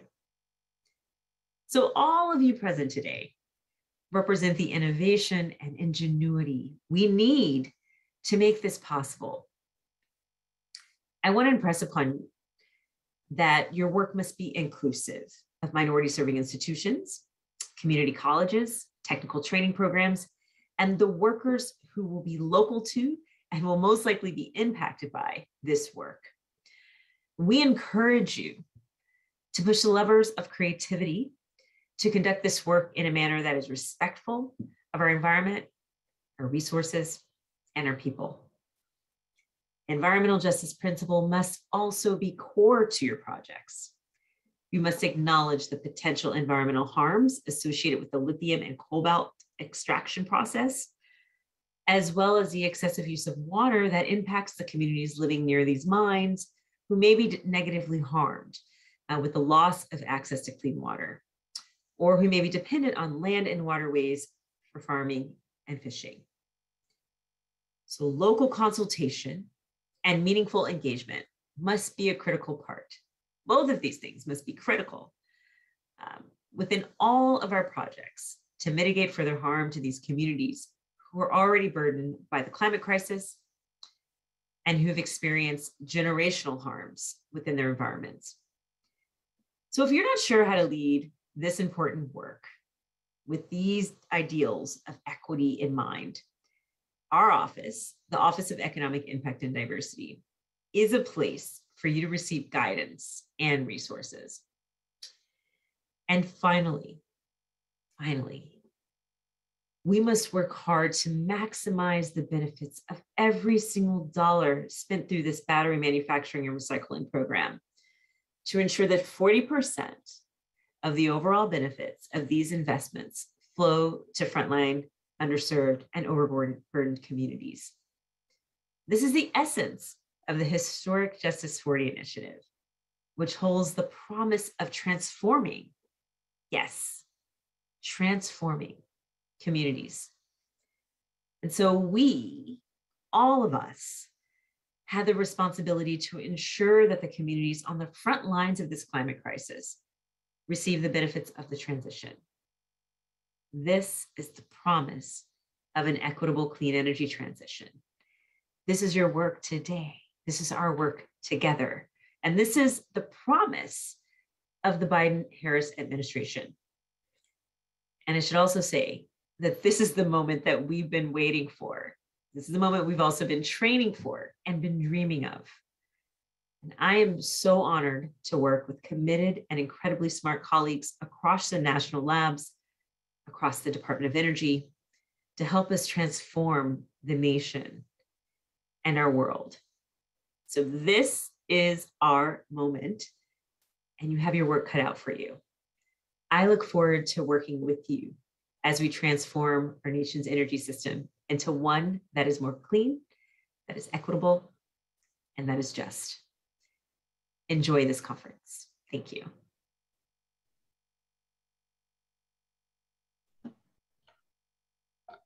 I wanted to sort of say that those were fantastic comments from both Betony and Shalanda. They've been thinking about this deeply, and I've had a huge influence in terms of how to think about this whole topic. I want to bring in Michael Berube, who you heard from this morning, the Deputy Assistant Secretary for Sustainable Transportation, to share a few of his thoughts on what we just heard and the whole concept of, you know, how do we think about the environmental justice component, the equity, the whole workforce. And then I want to then bring on my colleagues from other national labs to have a discussion on what we've been hearing from the audience. Go ahead, Michael. Thank you, Venkat. Um, I, have had the honor of working with Shalanda and with Betony um, over the last uh, eight, nine months. And you know, first, let me just say, just having them here in this position in senior roles within the administration and like actively working, like, you know, day to day, week to week with us is new and that's different. And that in and of itself is uh, a, a, real sign of change. Um, and it's going to be something that um, we are going to be asking all of all of you and the people that we are working with in, in funding, you know, and all the projects Dave talked about earlier, and in the um, the competitive grants under bill, this is critically important. Um, I think you know, Shalanda and, and said it well. I, I will say, kind of in my own words, if we don't bring everyone along, and if everyone doesn't see their role in this energy transition, we will not succeed. It, it won't make a difference how many billions we spend. So this isn't um, something to do on the side or an add-on. This is core to the success as much as you know the it is the getting the right factory and the right technology and the, the right offtake agreements and all of that are needed. This also is needed as well. Um, I, will just echo Betony's comments on quality of jobs, location of jobs. Um, so one of the things you will see, for those of you that have applied to some of our funding opportunities recently, um, we are asking for a diversity, equity, and inclusion plan in every one of our funding opportunities. Um, these programs under bill are, are huge and monumental, and that has to be part of it. Uh, as Shalanda said, there needs to be meaningful engagement and listening with the local community and involvement of the local community. And we are going to be asking in our projects for, for that, for that demonstration of that um, we will be giving very serious consideration to locality for people that are energy communities in transition, automotive, basically people that are transferring from the fossil energy uh, industry. And so in the case of automotive, you know, whether that's making the internal combustion engines or similar other components, or in the actual energy, you know, for example, coal communities that are, you know, in transition as we move to renewables to get that clean electricity to, to run those cars. Um, the location of facilities that are in those same communities that can provide job opportunities to those workers that are going to be transitioning out of those is a top consideration we will be looking at. So please take that quite seriously in, in the work that, uh, that you are doing. So uh, with that, Venkat, let me hand it over to, uh, to you and Noel, and uh, I think maybe Tony, who is going to join as well. I'll gladly stay on it for any comments at the end or any questions you guys might have for me. That'll be fantastic if Noel and uh, yeah, Tony's on. I see Noel, if you can come on to that's fantastic. Uh, so, you know, uh, great comments. I had a couple of questions I wanted to pull the thread on, maybe a combination of uh, engaging the community and workforce, maybe in the beginning. What are you guys hearing? We've already heard from a couple of people talking about engaging the local community college uh, you know, in Illinois, I won't mention names of companies, but we've seen, you know, manufacturers reach out to the community college and find a way to sort of get that kind of going. What are you hearing from companies and what do you think are some interesting practices we ought to be thinking about as we think about this growth of this market? Maybe we'll start with uh, Noel, but then go to Tony and then, you know, after, Michael, I would love for your views also on this topic because you've been thinking about it. So go ahead, Noel. Sure. Well, um, just to remind us of some some of what we heard from industry just today in the areas of interest we heard Lithium Americas talking about working with local partners to equip, equip local people on skills uh, and, and how they want to build that community. We heard from Pure Lithium on how they're training technicians with high school backgrounds, for instance. And I'll say something that I've said in testimony to Congress and in the Energy Storage Grand Challenge national meetings that we held last year, that we need to be making these connections from K-12 to community and technical colleges, as you heard from Betony, and sometimes also on to four-year and, and grad schools. But it's about educating on the opportunities in energy and energy storage so people understand the opportunity at this time. Uh, it's about eliminating the shock points um, where you lose people in the pipeline, and it's about creating those innovative training and reskill or upskill opportunities to meet our national needs. And part of the need here and where the government could help is creating uh, an understanding of where the gaps are. Uh, and, and that's why it's really important for us to bring industry together to hear from them as well. Yeah, there was a poll question, if you have time, that's going to come up on that exact question, hopefully. But uh, Tony, go ahead, sorry. Yeah, so I think we saw in the in your polls that the workforce is the biggest challenge that people are facing here. The general piece that that's come up in many of our conversations is we tend to focus in the research communities and the DOE on four school, you know, graduate school and things like that. But a lot of the, the effort is needs to be at the you know two year pre pre graduate education work and and getting those workers in and skilled up in, in what are completely new areas for most people even in the training space. So i think figuring out how to de- develop an apprenticeship type approach or connected with community colleges or trade school pieces is sort of critical to a lot of these industries moving forward in a way that they think they can accelerate through this work, um, get, you know, supply gap. I, you know, I cannot agree more, right? I think that's one of the biggest things that, you know, it's a mental pivot that all of us have to make and in sort of where the needs are going forward. Michael, your thoughts on this? I was intrigued by, I know you've been thinking about this whole ICE to EV transition and what does it mean for the workforce? Um, I will, uh, I, I, think Tony, your comments, Noel, are, are right on point. Um, not, not to, um, steal the secretary's thunder because that would be a bad thing for my career. Uh, but uh, pay attention Friday. The secretary will be making an announcement uh, uh that's relevant to this conversation.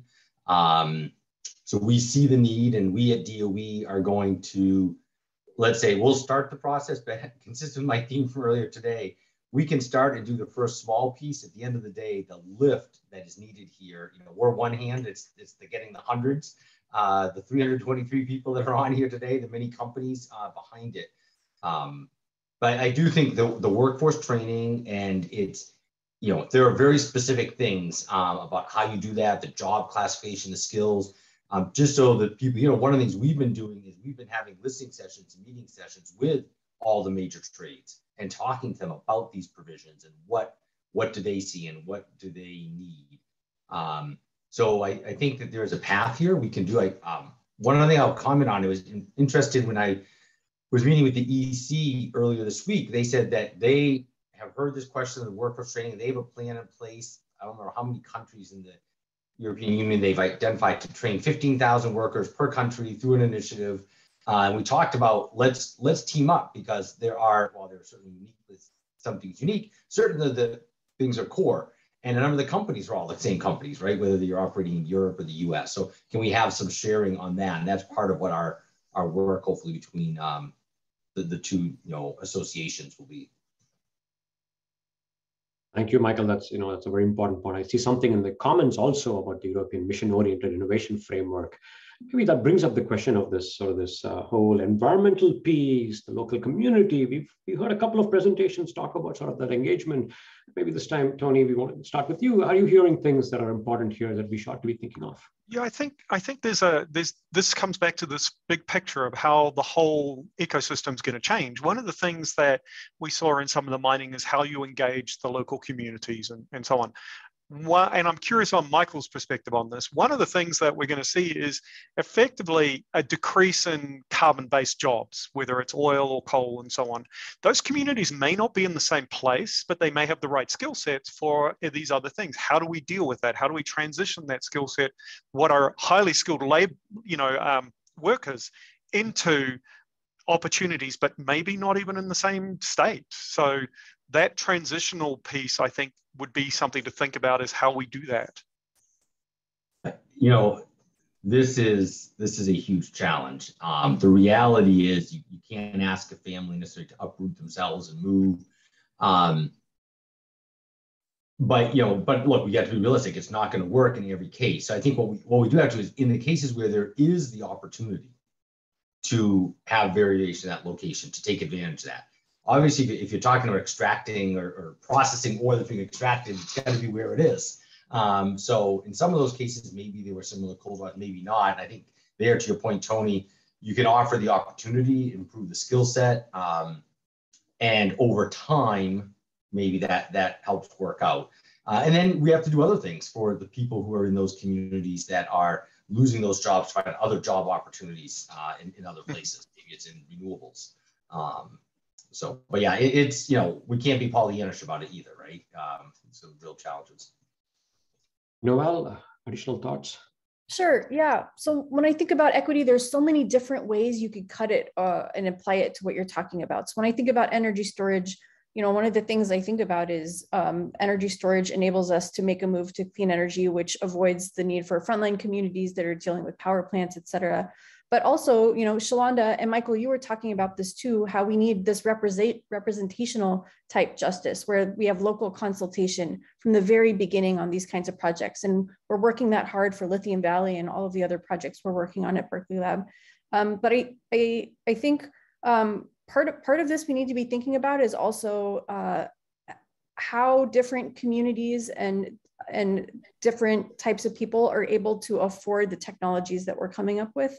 I mean, EVs are not in, in the realm of possibility for a lot of folks right now. And I know that things like fast charging, some in some senses have come about to help enable people to use this kind of technology when they don't have three hours or four hours to charge, when they don't have their own garage, um, and when they, they just don't have access to that. So I just encourage people to think about, about um, equity from the very beginning. And I think you're hearing that throughout today and tomorrow as well you know, know that comment I think on the charging is one that uh, I I'll try to remind people that fast charging by definition is going to be more expensive charging, and um, this, this, we all know how that economics of that work. So that's not necessarily a great answer to say I'll buy a whole bunch of fast chargers in the middle of the city for people that you know are in lower income housing. So um, that is something we are interested in creative ideas and thinking about what type of demos and projects can we do here within DOE to help try to find solutions for that.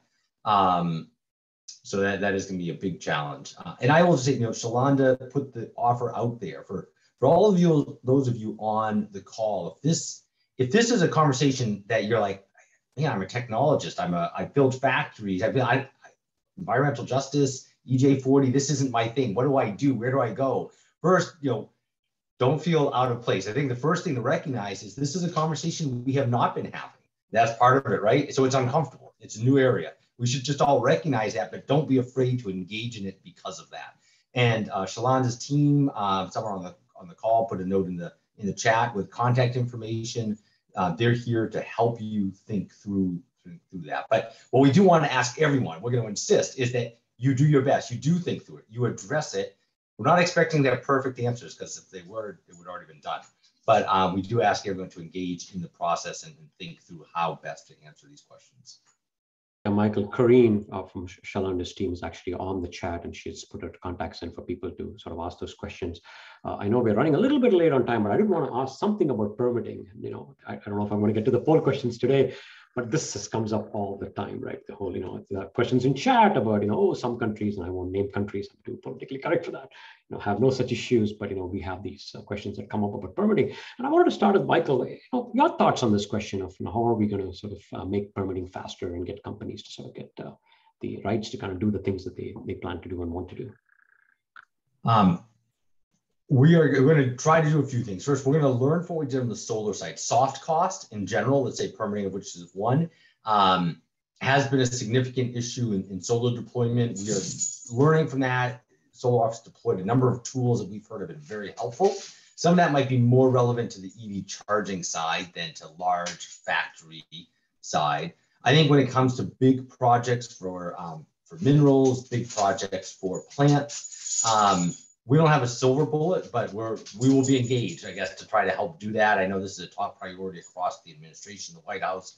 We are working on principles for, you know, um, how do you address things like sustainable um, extraction? How do you do that in the right way? And some core principles hopefully we can get people bought into. So at least we're starting from partway down the conversation. Not that we'll have the whole thing done at the beginning, but um, versus starting from scratch and everyone approaching it differently.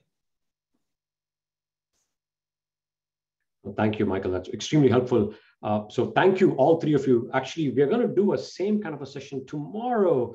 I just think this particular session can be a one-hour session all in itself, and we don't have an hour. We could have done that today. Tomorrow is going to be a pretty busy day, uh, but thank you all, all three of you, for taking the time to sort of talk a little bit about this. Uh, there's a bit of a debate going on on the site as to whether we should go to the polls or we should not go to the polls and get uh, you know, Dave Howell to kind of tell us a little bit about the final thoughts. But I wanted to thank all three of you for taking the time to sort of talk about this and, and for chatting the session and for giving uh, the keynote presentation in the morning. So thank you for including us. Our pleasure, Venkat. And uh, so we are actually going to go to Dave Howell, I think, because I just saw his camera come on, and it is not for me to say that Dave should not say something. No, if you want to go to a poll, but I just want to make sure, Michael, if he's still on, if you wanted to have any parting parting words, you know, Michael, I know has a, a meeting butted up right against 415. Is Michael still on? Michael, are you on? And are you able to see? He may have had to. He may have had to jump off. Okay.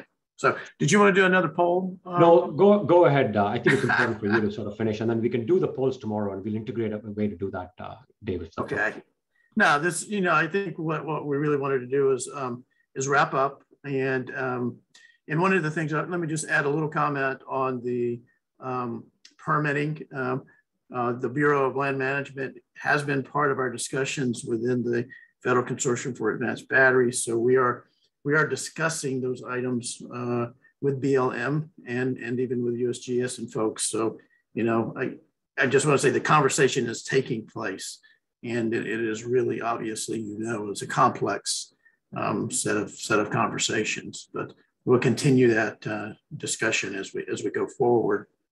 So um, excellent day, you know, on the East Coast, great afternoon for us. And, you know, really, uh, really appreciate all the input um, uh, that the participants uh, provided uh, today. Um, great videos. Um, and obviously you put time, obviously a lot of time into, into making those videos and, and very impactful. So really appreciated. They will be used and have been used.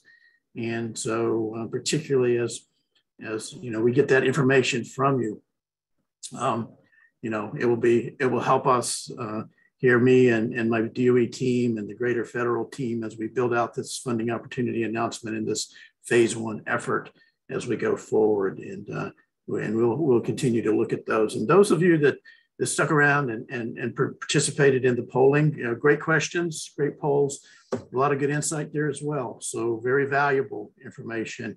Um, uh, it, as a matter of fact, you know, it's just, equally important input that we that we um, received um, from the polling. So thank you again, and particularly you know insights in those high priority areas within within those questions. Uh, yeah, thank you. And um, so as we build out this uh, this upcoming solicitation, you know, I, I will just um, just make sure that I, I send you this message. You know, we, we we do take time to build these things out, and you know, every word, um, every paragraph is crafted. You know, we do have some boilerplate language and stuff like that, but I just want to encourage you that once the funding opportunity comes out, just to definitely read the entire document. And, you know, and if you have uh, questions, you know, there will be a frequently asked question capability for the funding opportunity as well. So feel free to, you know, put that question in question to us so we can actually get you an answer as soon as possible.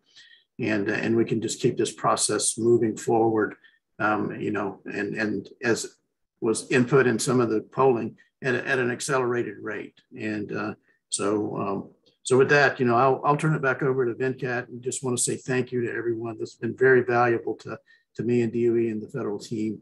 And uh, let's keep this conversation going and moving forward. So Venkat.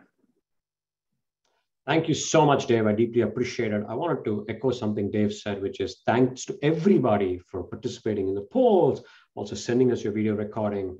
I know that we gave you guys two weeks time uh, to record those presentations. And even though it's only three minutes, we all know how long it takes to record a three minute video. Uh, it does take a long time to do that. So we deeply appreciate the time we've taken to do that.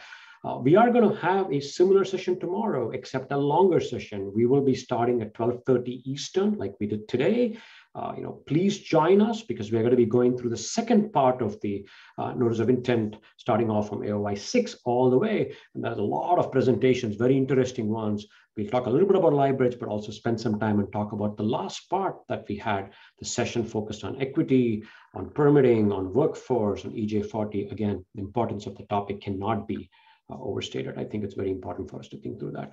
So thank you again for a fantastic day today. Uh, like we said before, all the videos will be at some point posted so we can see it. Uh, the, the, information coming in chat, which is extremely useful for us, will be posted for all of you to see. Uh, all the polling questions will be posted with the responses that came out. Um, you know, again, thank, we want to again thank you all for engaging and taking the time to do that. It's, it's been a fantastic uh, set of uh, information that has been coming to us. So appreciate it. See you all. Have a great rest of the day, and see you all tomorrow, 12:30 Eastern.